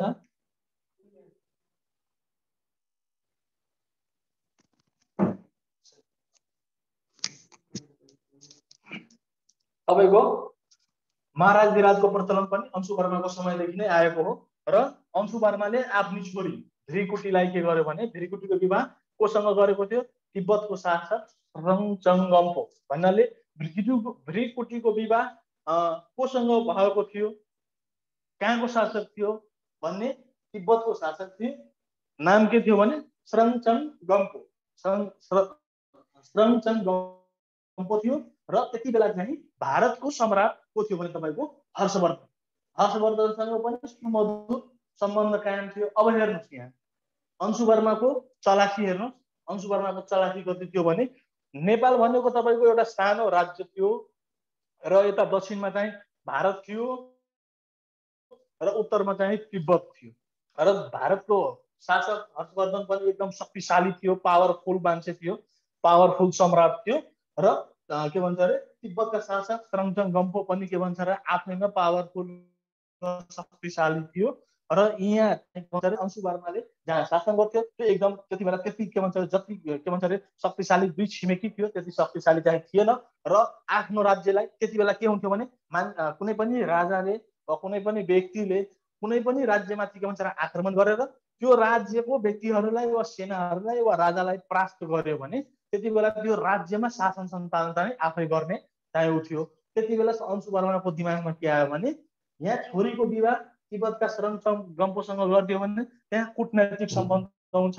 कुटनैतिक सम्बन्ध भएको कारणले गर्दा हाम्रो राज्य बचिरहन्छ र दक्षिणको दक्षिणको के भन्छ अरे मित्रलाई दक्षिणको सम्राटलाई सँग पनि मित्रवत व्यवहार राख्यो भने सुमधुर व्यवहार राख्यो भने हाम्रो राज्यमा न दक्षिणबाट न उत्तरबाट पनि खतरा हुन्छ र हाम्रो राज्य के भन्छ अरे कन्टिन्यू चलिरहन्छ भन्ने कुरा त्यति बेला नै दिमागमा आएको कारणले गर्दा छोरीको विवाह चाहिँ उता तिब्बतमा गरिदियो र दक्षिणको भारत दक्षिण दक्षिणको दक्षिणतिर भारतको सम्राट हर्षवर्धनसँग पनि एकदम सुमधुर व्यवहार राखेर चाहिँ तपाईँको के गर्यो भने सत्ता सञ्चालन गर्यो।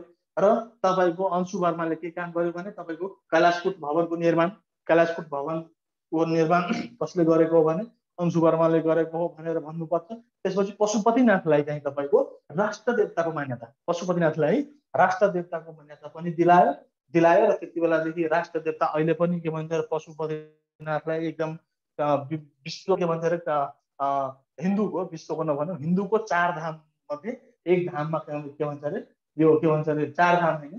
तपाईँको चार यो शङ्करको चारवटा ठाउँमध्ये एक ठाउँ यो नेपालको पशुपति पनि पर्दो रहेछ होइन? त्यही भएर पशुपतिनाथलाई चाहिँ चाहिँ राष्ट्र देवताको मान्यता दिलायो र त्यो दिलाएर पहिला चाहिँ युवराज धिराज राजाको जेठो छोरा वा भावी राजा हुने व्यक्ति भावी राजा हुने व्यक्ति चाहिँ के भन्छ राजा बन्नुपर्छ। भन्ने कुरा त्यहाँबाट आउँदा चाहिँ छोरा वा भावी राजा यहाँ छोरा मैले लेखेको छु तपाईँले यो बुझ्नु त्यो भावी राजा को बन्छ? छोरै हुनुपर्छ भन्ने छैन। त्यति बेला के भन्छ भने शासन सत्ता एक वंशबाट अर्को वंशमा गएर फेरि पनि त्यही वंशमा चाहिँ जाने चाहिँ प्रचलन थियो। र अंशुबारमा चाहिँ तपाईँको के भन्छ लिच्छवी वंशको चाहिँ आफू चाहिँ थिएन। यो लिच्छवी वंशको थिएन। लिच्छवी वंशको राजाको मृत्यु भएको एकजना राजाको मृत्यु भइसकेपछि जसमा राज्य सत्ता सञ्चालन आउनुपर्ने हो सानो भएको कारणले गर्दा सत्ता सञ्चालन अंशुवर्मामा गयो यो अंशुवर्माको वंशमा गयो र पछि चाहिँ फेरि पनि अंशुवर्मालाई त्यहाँ यस्तो निस्वार्थ र के भन्छ अरे राम्रो व्यक्तित्वको मान्छे थियो उहाँले फेरि पनि आफूले सत्ता सञ्चालन त गर्यो छोरामा गरेर फेरि पनि जुन वंशबाट आएको थियो त्यही वंशमा के भन्छ भने तपाईँको सत्ता सञ्चालन गरिदियो। र त्यहीबाट चाहिँ तपाईँको युवराज विराज भावी राजा जुन आउने दिनमा राजा बन्छ त्यसलाई युवराज विराजको नामले चाहिँ चिन्नुपर्छ भनेर तपाईँको के भन्छ अरे अंशुवर्माको पालादेखि युवराज विराजको घोषणा गर्ने चलन पनि के भन्छ अरे तपाईँको अंशुवर्माको पालादेखि आएको हो। अब मुख्य कुरा यो हो त्यसपछि तपाईँको यो अझै अंशुवर्माले के गर्यो भने तपाईँको यो तपाईँको तपाईँको के के काम अझै गर्यो भने तपाईँको यो बालकको सालमा काट्ने चलन बालकको सालना। सालना काट्ने चलन काट्ने चलन। बालकको सालना काट्ने चलन पनि ल्यायो त्यसपछि तपाईँको बलम्बुमा मानव बस्तीमा मानव मानव बस्तीको पनि मानव बस्ती पनि बसालेको थियो।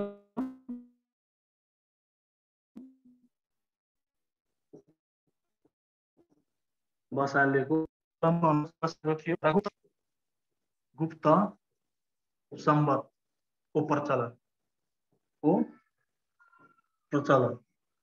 यो गुप्त सम्बतको प्रचलन पनि ल्यायो बालकको सालनाल काट्ने। बालकको सालनाल थाहा छ। जन्ने बित्तिकै के भन्छ तपाईँको सालना नारी लिएर लागेको हुन्छ।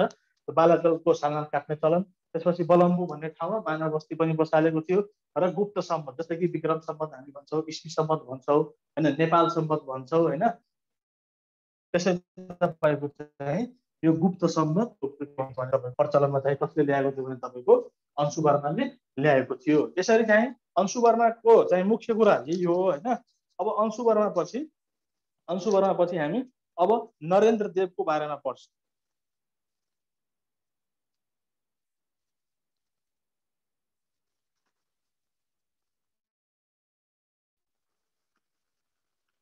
अब अंशुवर्मा पछि हामीले नरेन्द्र देव उहाँ पनि लिच्छवी वंशकै के भन्छ अरे शासक एकजना राजा हुन्। हामी नरेन्द्र देवको बारेमा पढ्छौँ। मुख्य कुरा यही हो। अझै तपाईँहरूले अब आफ्नो स्रोतहरूबाट पनि हेर्नु होला अब नरेन्द्र देव लिच्छवी वंशकै अब नरेन्द्र देवको कुरा हामी गरौँ।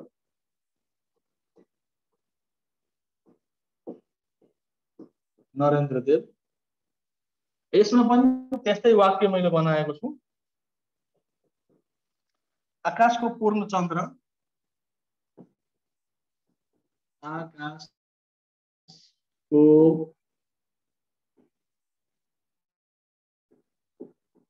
पूर्ण चंद्र महाराज धिराज महा महा महा कि महा महाराज धिराज महाराज धिराज महाराज धिराज महाराज, महा राज।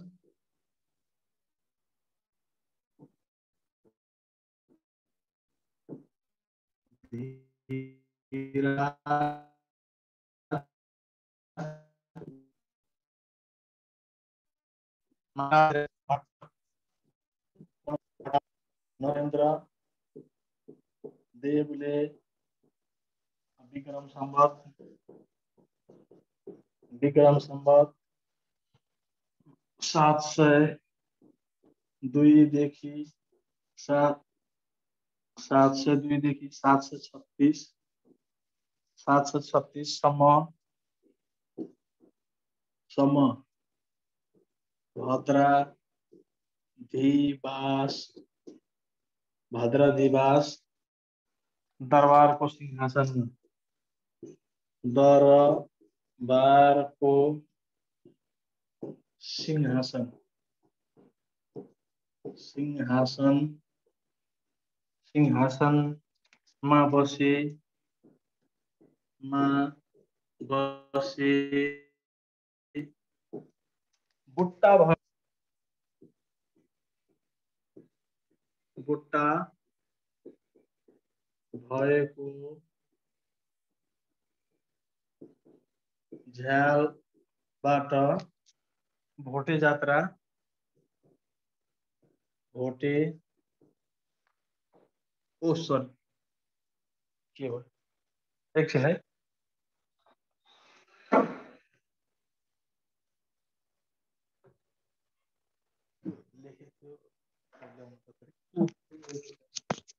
लेखेको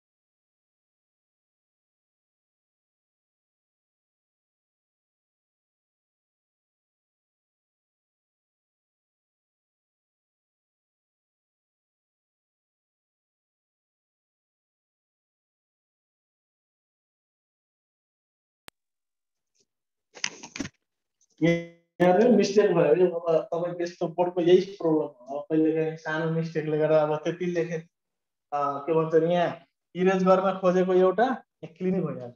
ल ठिक छ म फेरि लेखिदिन्छु।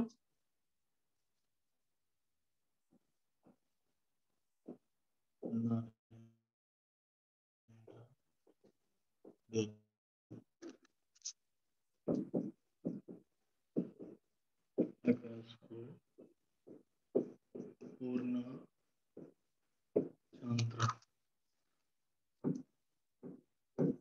महाराज।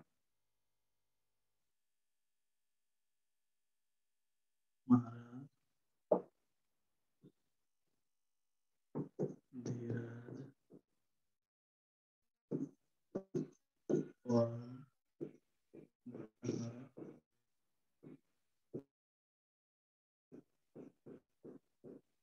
नरेंद्र देवले विक्रम संवत विक्रम संवत सात सय दुईदेखि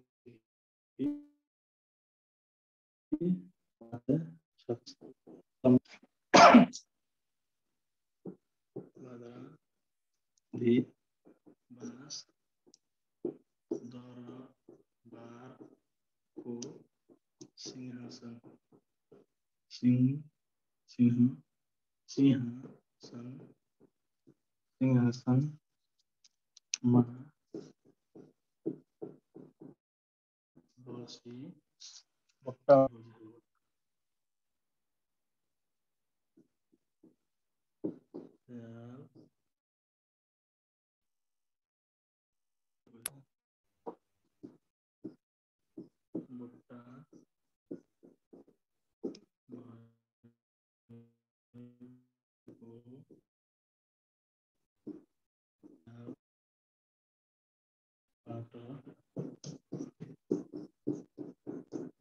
जात्रा तथा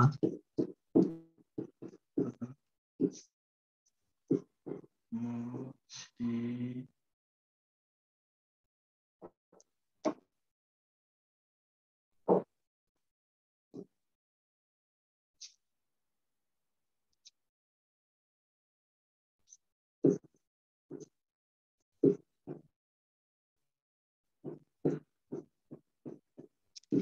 मछिन्द्रमा को जात्रा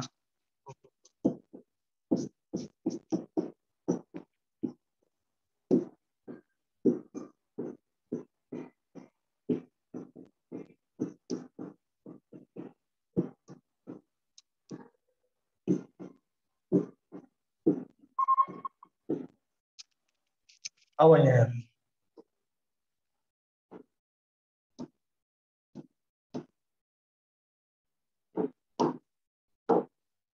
अब यहाँ हेर्नुहोस् नरेन्द्र देव यो लेखेको कुरा फेरि पनि भइहाल्यो होइन? नरेन्द्र देव तपाईँको नरेन्द्र देवको शासन कहिलेदेखि कहिले हो भने सात सय दुईदेखि सात सय छत्तिससम्म होइन?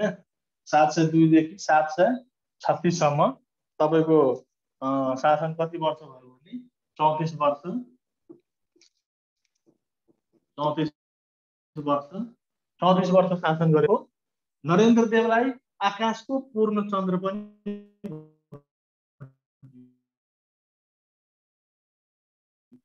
आकाशको पूर्ण चन्द्र नरेन्द्र देवलाई आकाशको पूर्ण चन्द्र भनेर पनि चिनिन्छन् है? आकाशको पूर्ण चन्द्र भनेर पनि चिनिन्छन्।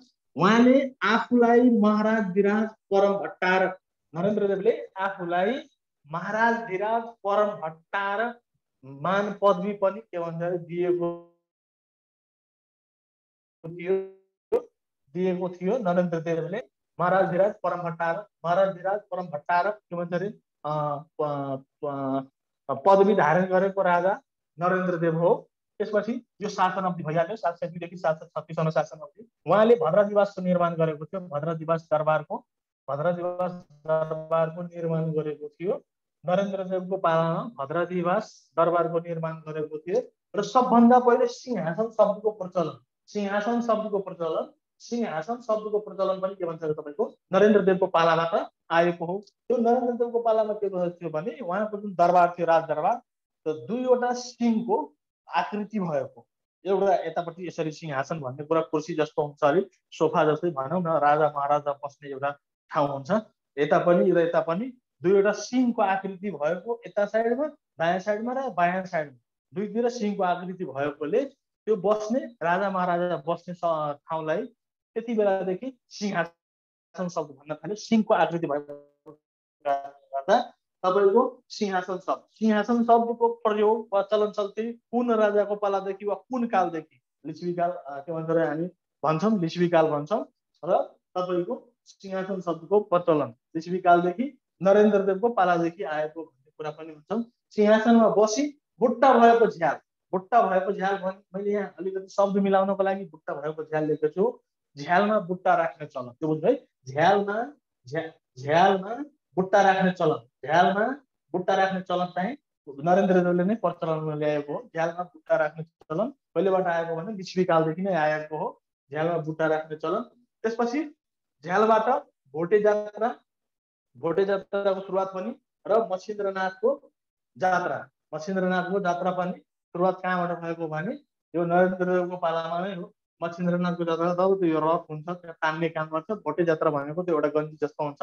त्यो सायद अब थाल्छ त्यति मलाई पनि यो भोटे जात्रा कसरी मनाउँछ भन्ने कुरा त्यति थाहा छैन। तर पाहाडको साथीहरूलाई थाहा हुनुपर्छ यो। तपाईँको यो गन्जी हुन्छ वा भेस्ट हुन्छ एउटा त्यो फाल्छ उताबाट उसले लिएर उता फाल्छ के त्यो अब समात्नुपर्छ कि? एकजनालाई लास्टमा त्यसलाई लिएर अब अब त्यहाँ समितिमा अहिले समिति त्यति बेलाको राजदरबारमा चाहिँ राख्ने काम गर्थ्यो। त्यहाँ विभिन्न पुरस्कारहरूका कुरा चाहिँ राख्ने काम हुन्थ्यो। तपाईँको भोटे जात्राको के भन्छ अरे सुरुवात र मच्छिन्द्रनाथ जात्राको पनि सुरुवात नरेन्द्र देवको पालामा भएको हो। आकाशको पूर्णचन्द्र भनेर चिनिन्छ। महाराज के भन्छ अरे अँ, भट्टार आदि पनि धारण गरेको थियो। त्यसपछि भद्रदिवासको निर्माण सिंहासन शब्दको प्रचलन बुट्टा झ्यालमा बुट्टा राख्ने चलन भोटे जात्रा र मच्छिन्द्रनाथको जात्राको सुरुवात पनि नरेन्द्र यो तपाईँको लिच्छवीकालका अझै धेरै बेलाहरू छन् होइन? तिनीमध्ये जसलाई हामीले सम्झिनुपर्छ किन सम्झिनुपर्छ कि कस्तो कारणले सम्झिनुपर्छ भन्ने कुरा हामीले गर्नु चाहिँ यसरी चाहिँ सम्झिने गर्दा र कुन मुद्रा कुन मेट्दैछु अब मुद्रा र प्रचलन का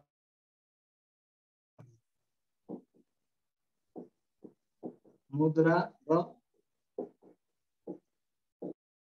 प्रचलन। कुन मुद्रा कुन राजाले के भन्छ ल्याएको हो यहाँ हेरौँ मनाङ मनाङ तपाईँहरूलाई थाहा छ मैले भनिदिएको छु यो फेरि भन्नु पर्दैन।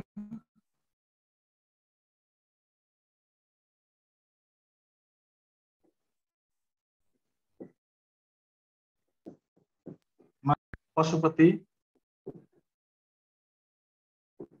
पशुपति मुद्रा। यो मुद्रा। मुद्रा पशुपति मुद्रा यसरी। अंशु वर्मा पन्ध्र पुराण। पन्ध्र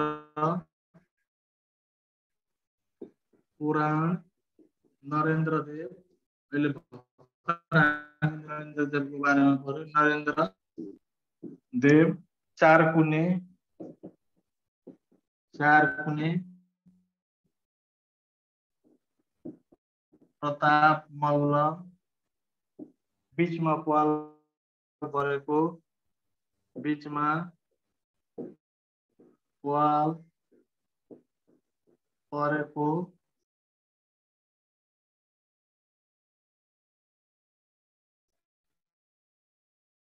यो पृथ्वीवीर विक्रम शाह विक्रम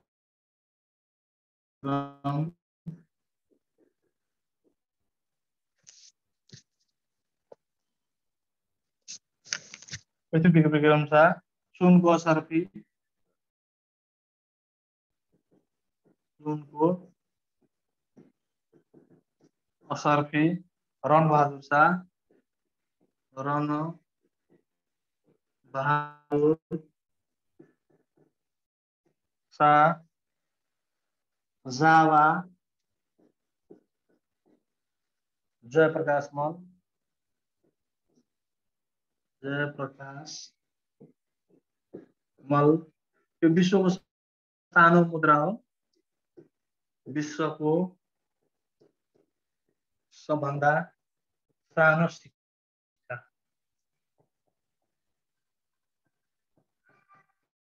विश्वको सबभन्दा सानो सिक्का चाँदीको सिक्का चाँदीको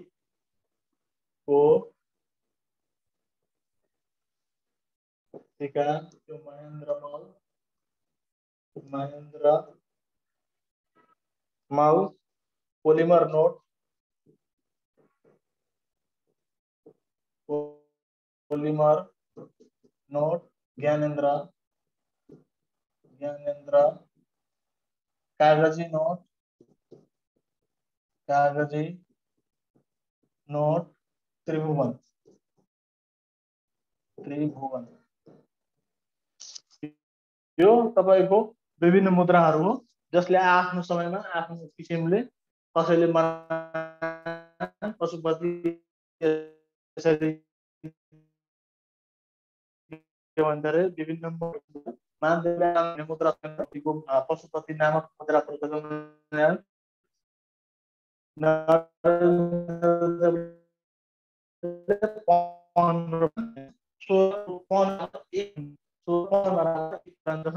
यति बेला तपाईँको सोह्र पन बराबर एक पुराण हुन्थ्यो। चार पाल परेको मुद्रा पृथ्वी वीर विक्रम शाहले चाहिँ आफ्नो पालामा ल्याएको थियो भने सुनको सर्फी रणबहादुर शाहले ल्याएको थियो।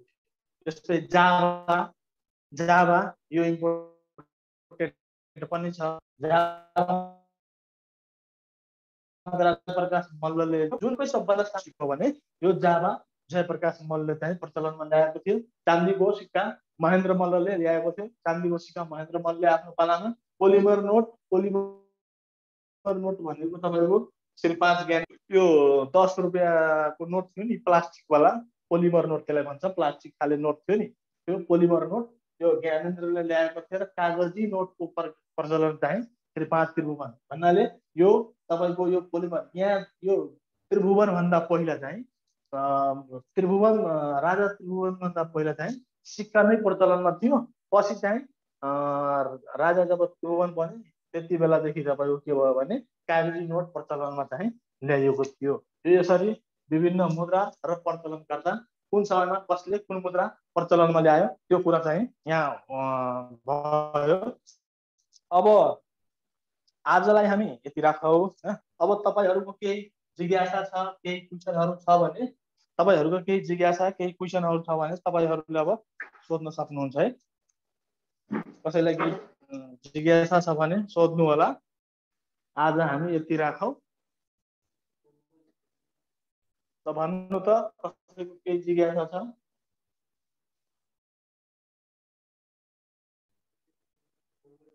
ल भुवन छेत्रीजी भन्नु त। यहाँ जसको अनम्युट हुन्छ उहाँले अब आफै हेरेर गर्नु होला। मसँग के भन्छ अलिक के भन्छ अरे प्राविधिक क्षेत्र अलिक टाढा भएको कारणले गर्दा केही छैन सर अगाडि तपाईँको आवाज क्लियर आएको थिएन त्यही भन्नलाई हात उठाएको थिएँ। ए आज चाहिँ अब त्यसको लागि के भनौँ अब यो नेटवर्कले गर्दा नै त्यसरी भएर खासमा अब हेर्नु होला नि। सुभाषजी भन्नु त केही छ?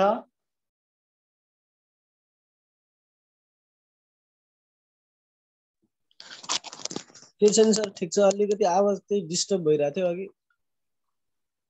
अब साथीहरू सबैको चाहिँ अब सबैको चाहिँ एउटै के भन्छ गुनासो आयो आवाजको होइन।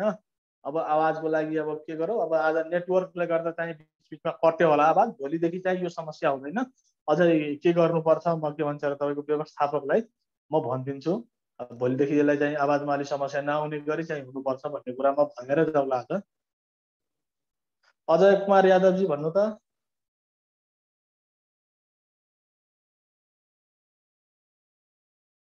केही समस्या छ? केही सोध्नु पर्ने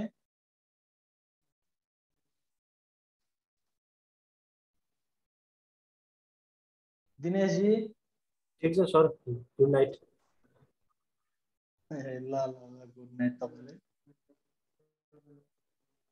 ल रवि रविन्द्रजी भन्नु त केही समस्या छ? रविन्द्रजी हजुर सर छैन सर केही पनि।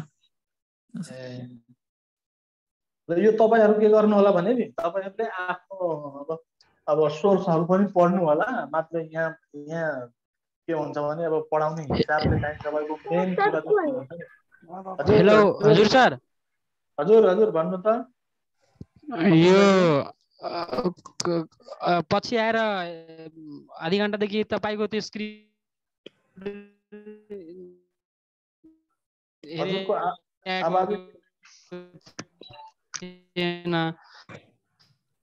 तपाईँले के के लेखाउनु भएको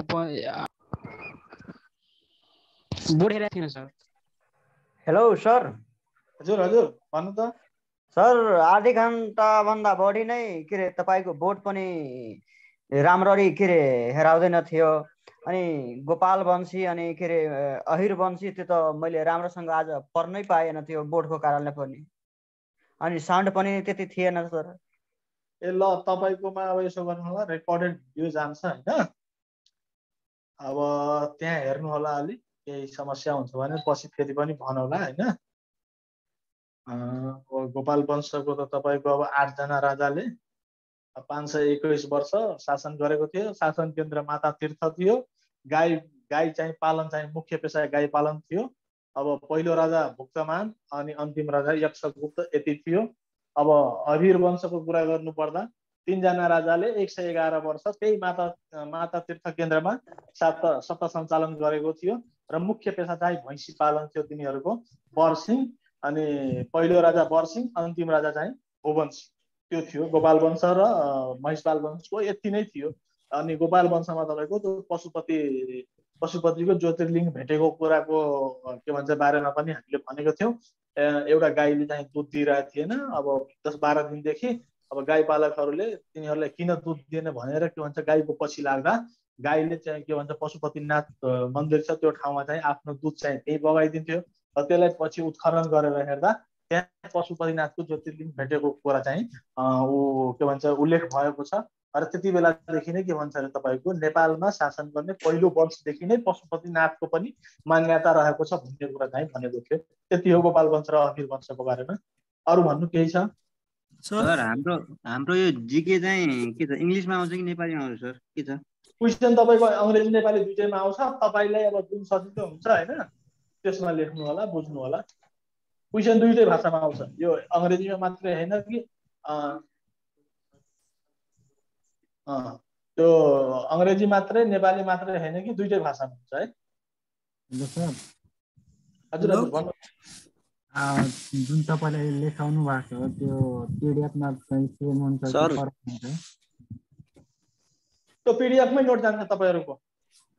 नोट जान्छ यति मात्र यो त मुख्य मुख्य कुरा हो नोटमा योभन्दा एउटा जान्छ होइन त्यसमा समस्या नलिनुहोस् सर हजुर हजुर सर यो अशोक सम्राटको छोरी जुन चारुमतीको विवाह जुन भयो थियो देवपालसँग त्यो चाहिँ कुनै राजा थियो कि आम व्यक्ति थियो यस्तै त्यो तपाईँको कुनै ठाउँमा त्यस्तो राजा या त्यस्तो केही उल्लेख भएको कतै मैले फेला पारेको छैन तपाईँले त्यो राजा थियो भनेर त्यसरी त होइन अब चारुमतीको विवाह देवपालसँग भएको कुरा त्यो देवपाल चाहिँ नेपाली नागरिक थियो नेपालको मान्छे थियो त्यति बुझ्नुहोस् नागरिक त अब के भन्ने त्यति बेला नागरिकताको समस्या थिएन तर नेपालकै व्यक्ति चाहिँ थियो देवपाल एउटा अझ के भन्नु। यो मानदेवको पालामा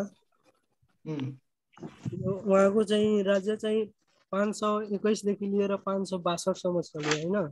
हजुर। अनि त्यसपछि चाहिँ हाम्रो त्यसको बिचमा चाहिँ केही भएन सर। अंशु वर्मा चाहिँ छ सय छ। लिएर छ सय। सत्तरसम्म राज गर्नुभयो। तपाईँले अब मेरो कुरो सुन्नुहोस्। तपाईँले सायद ध्यान दिएर नसुन्नु भयो होला त्यति बेला। नि राजा त शासन गर्ने धेरै थियो। तर जसले मुख्य केही न केही काम गरेको छ र कामलाई हामी सम्झिनु पर्दा मुख्य राजाहरूलाई मात्रै हामीले यहाँ फोकस गरेको हो।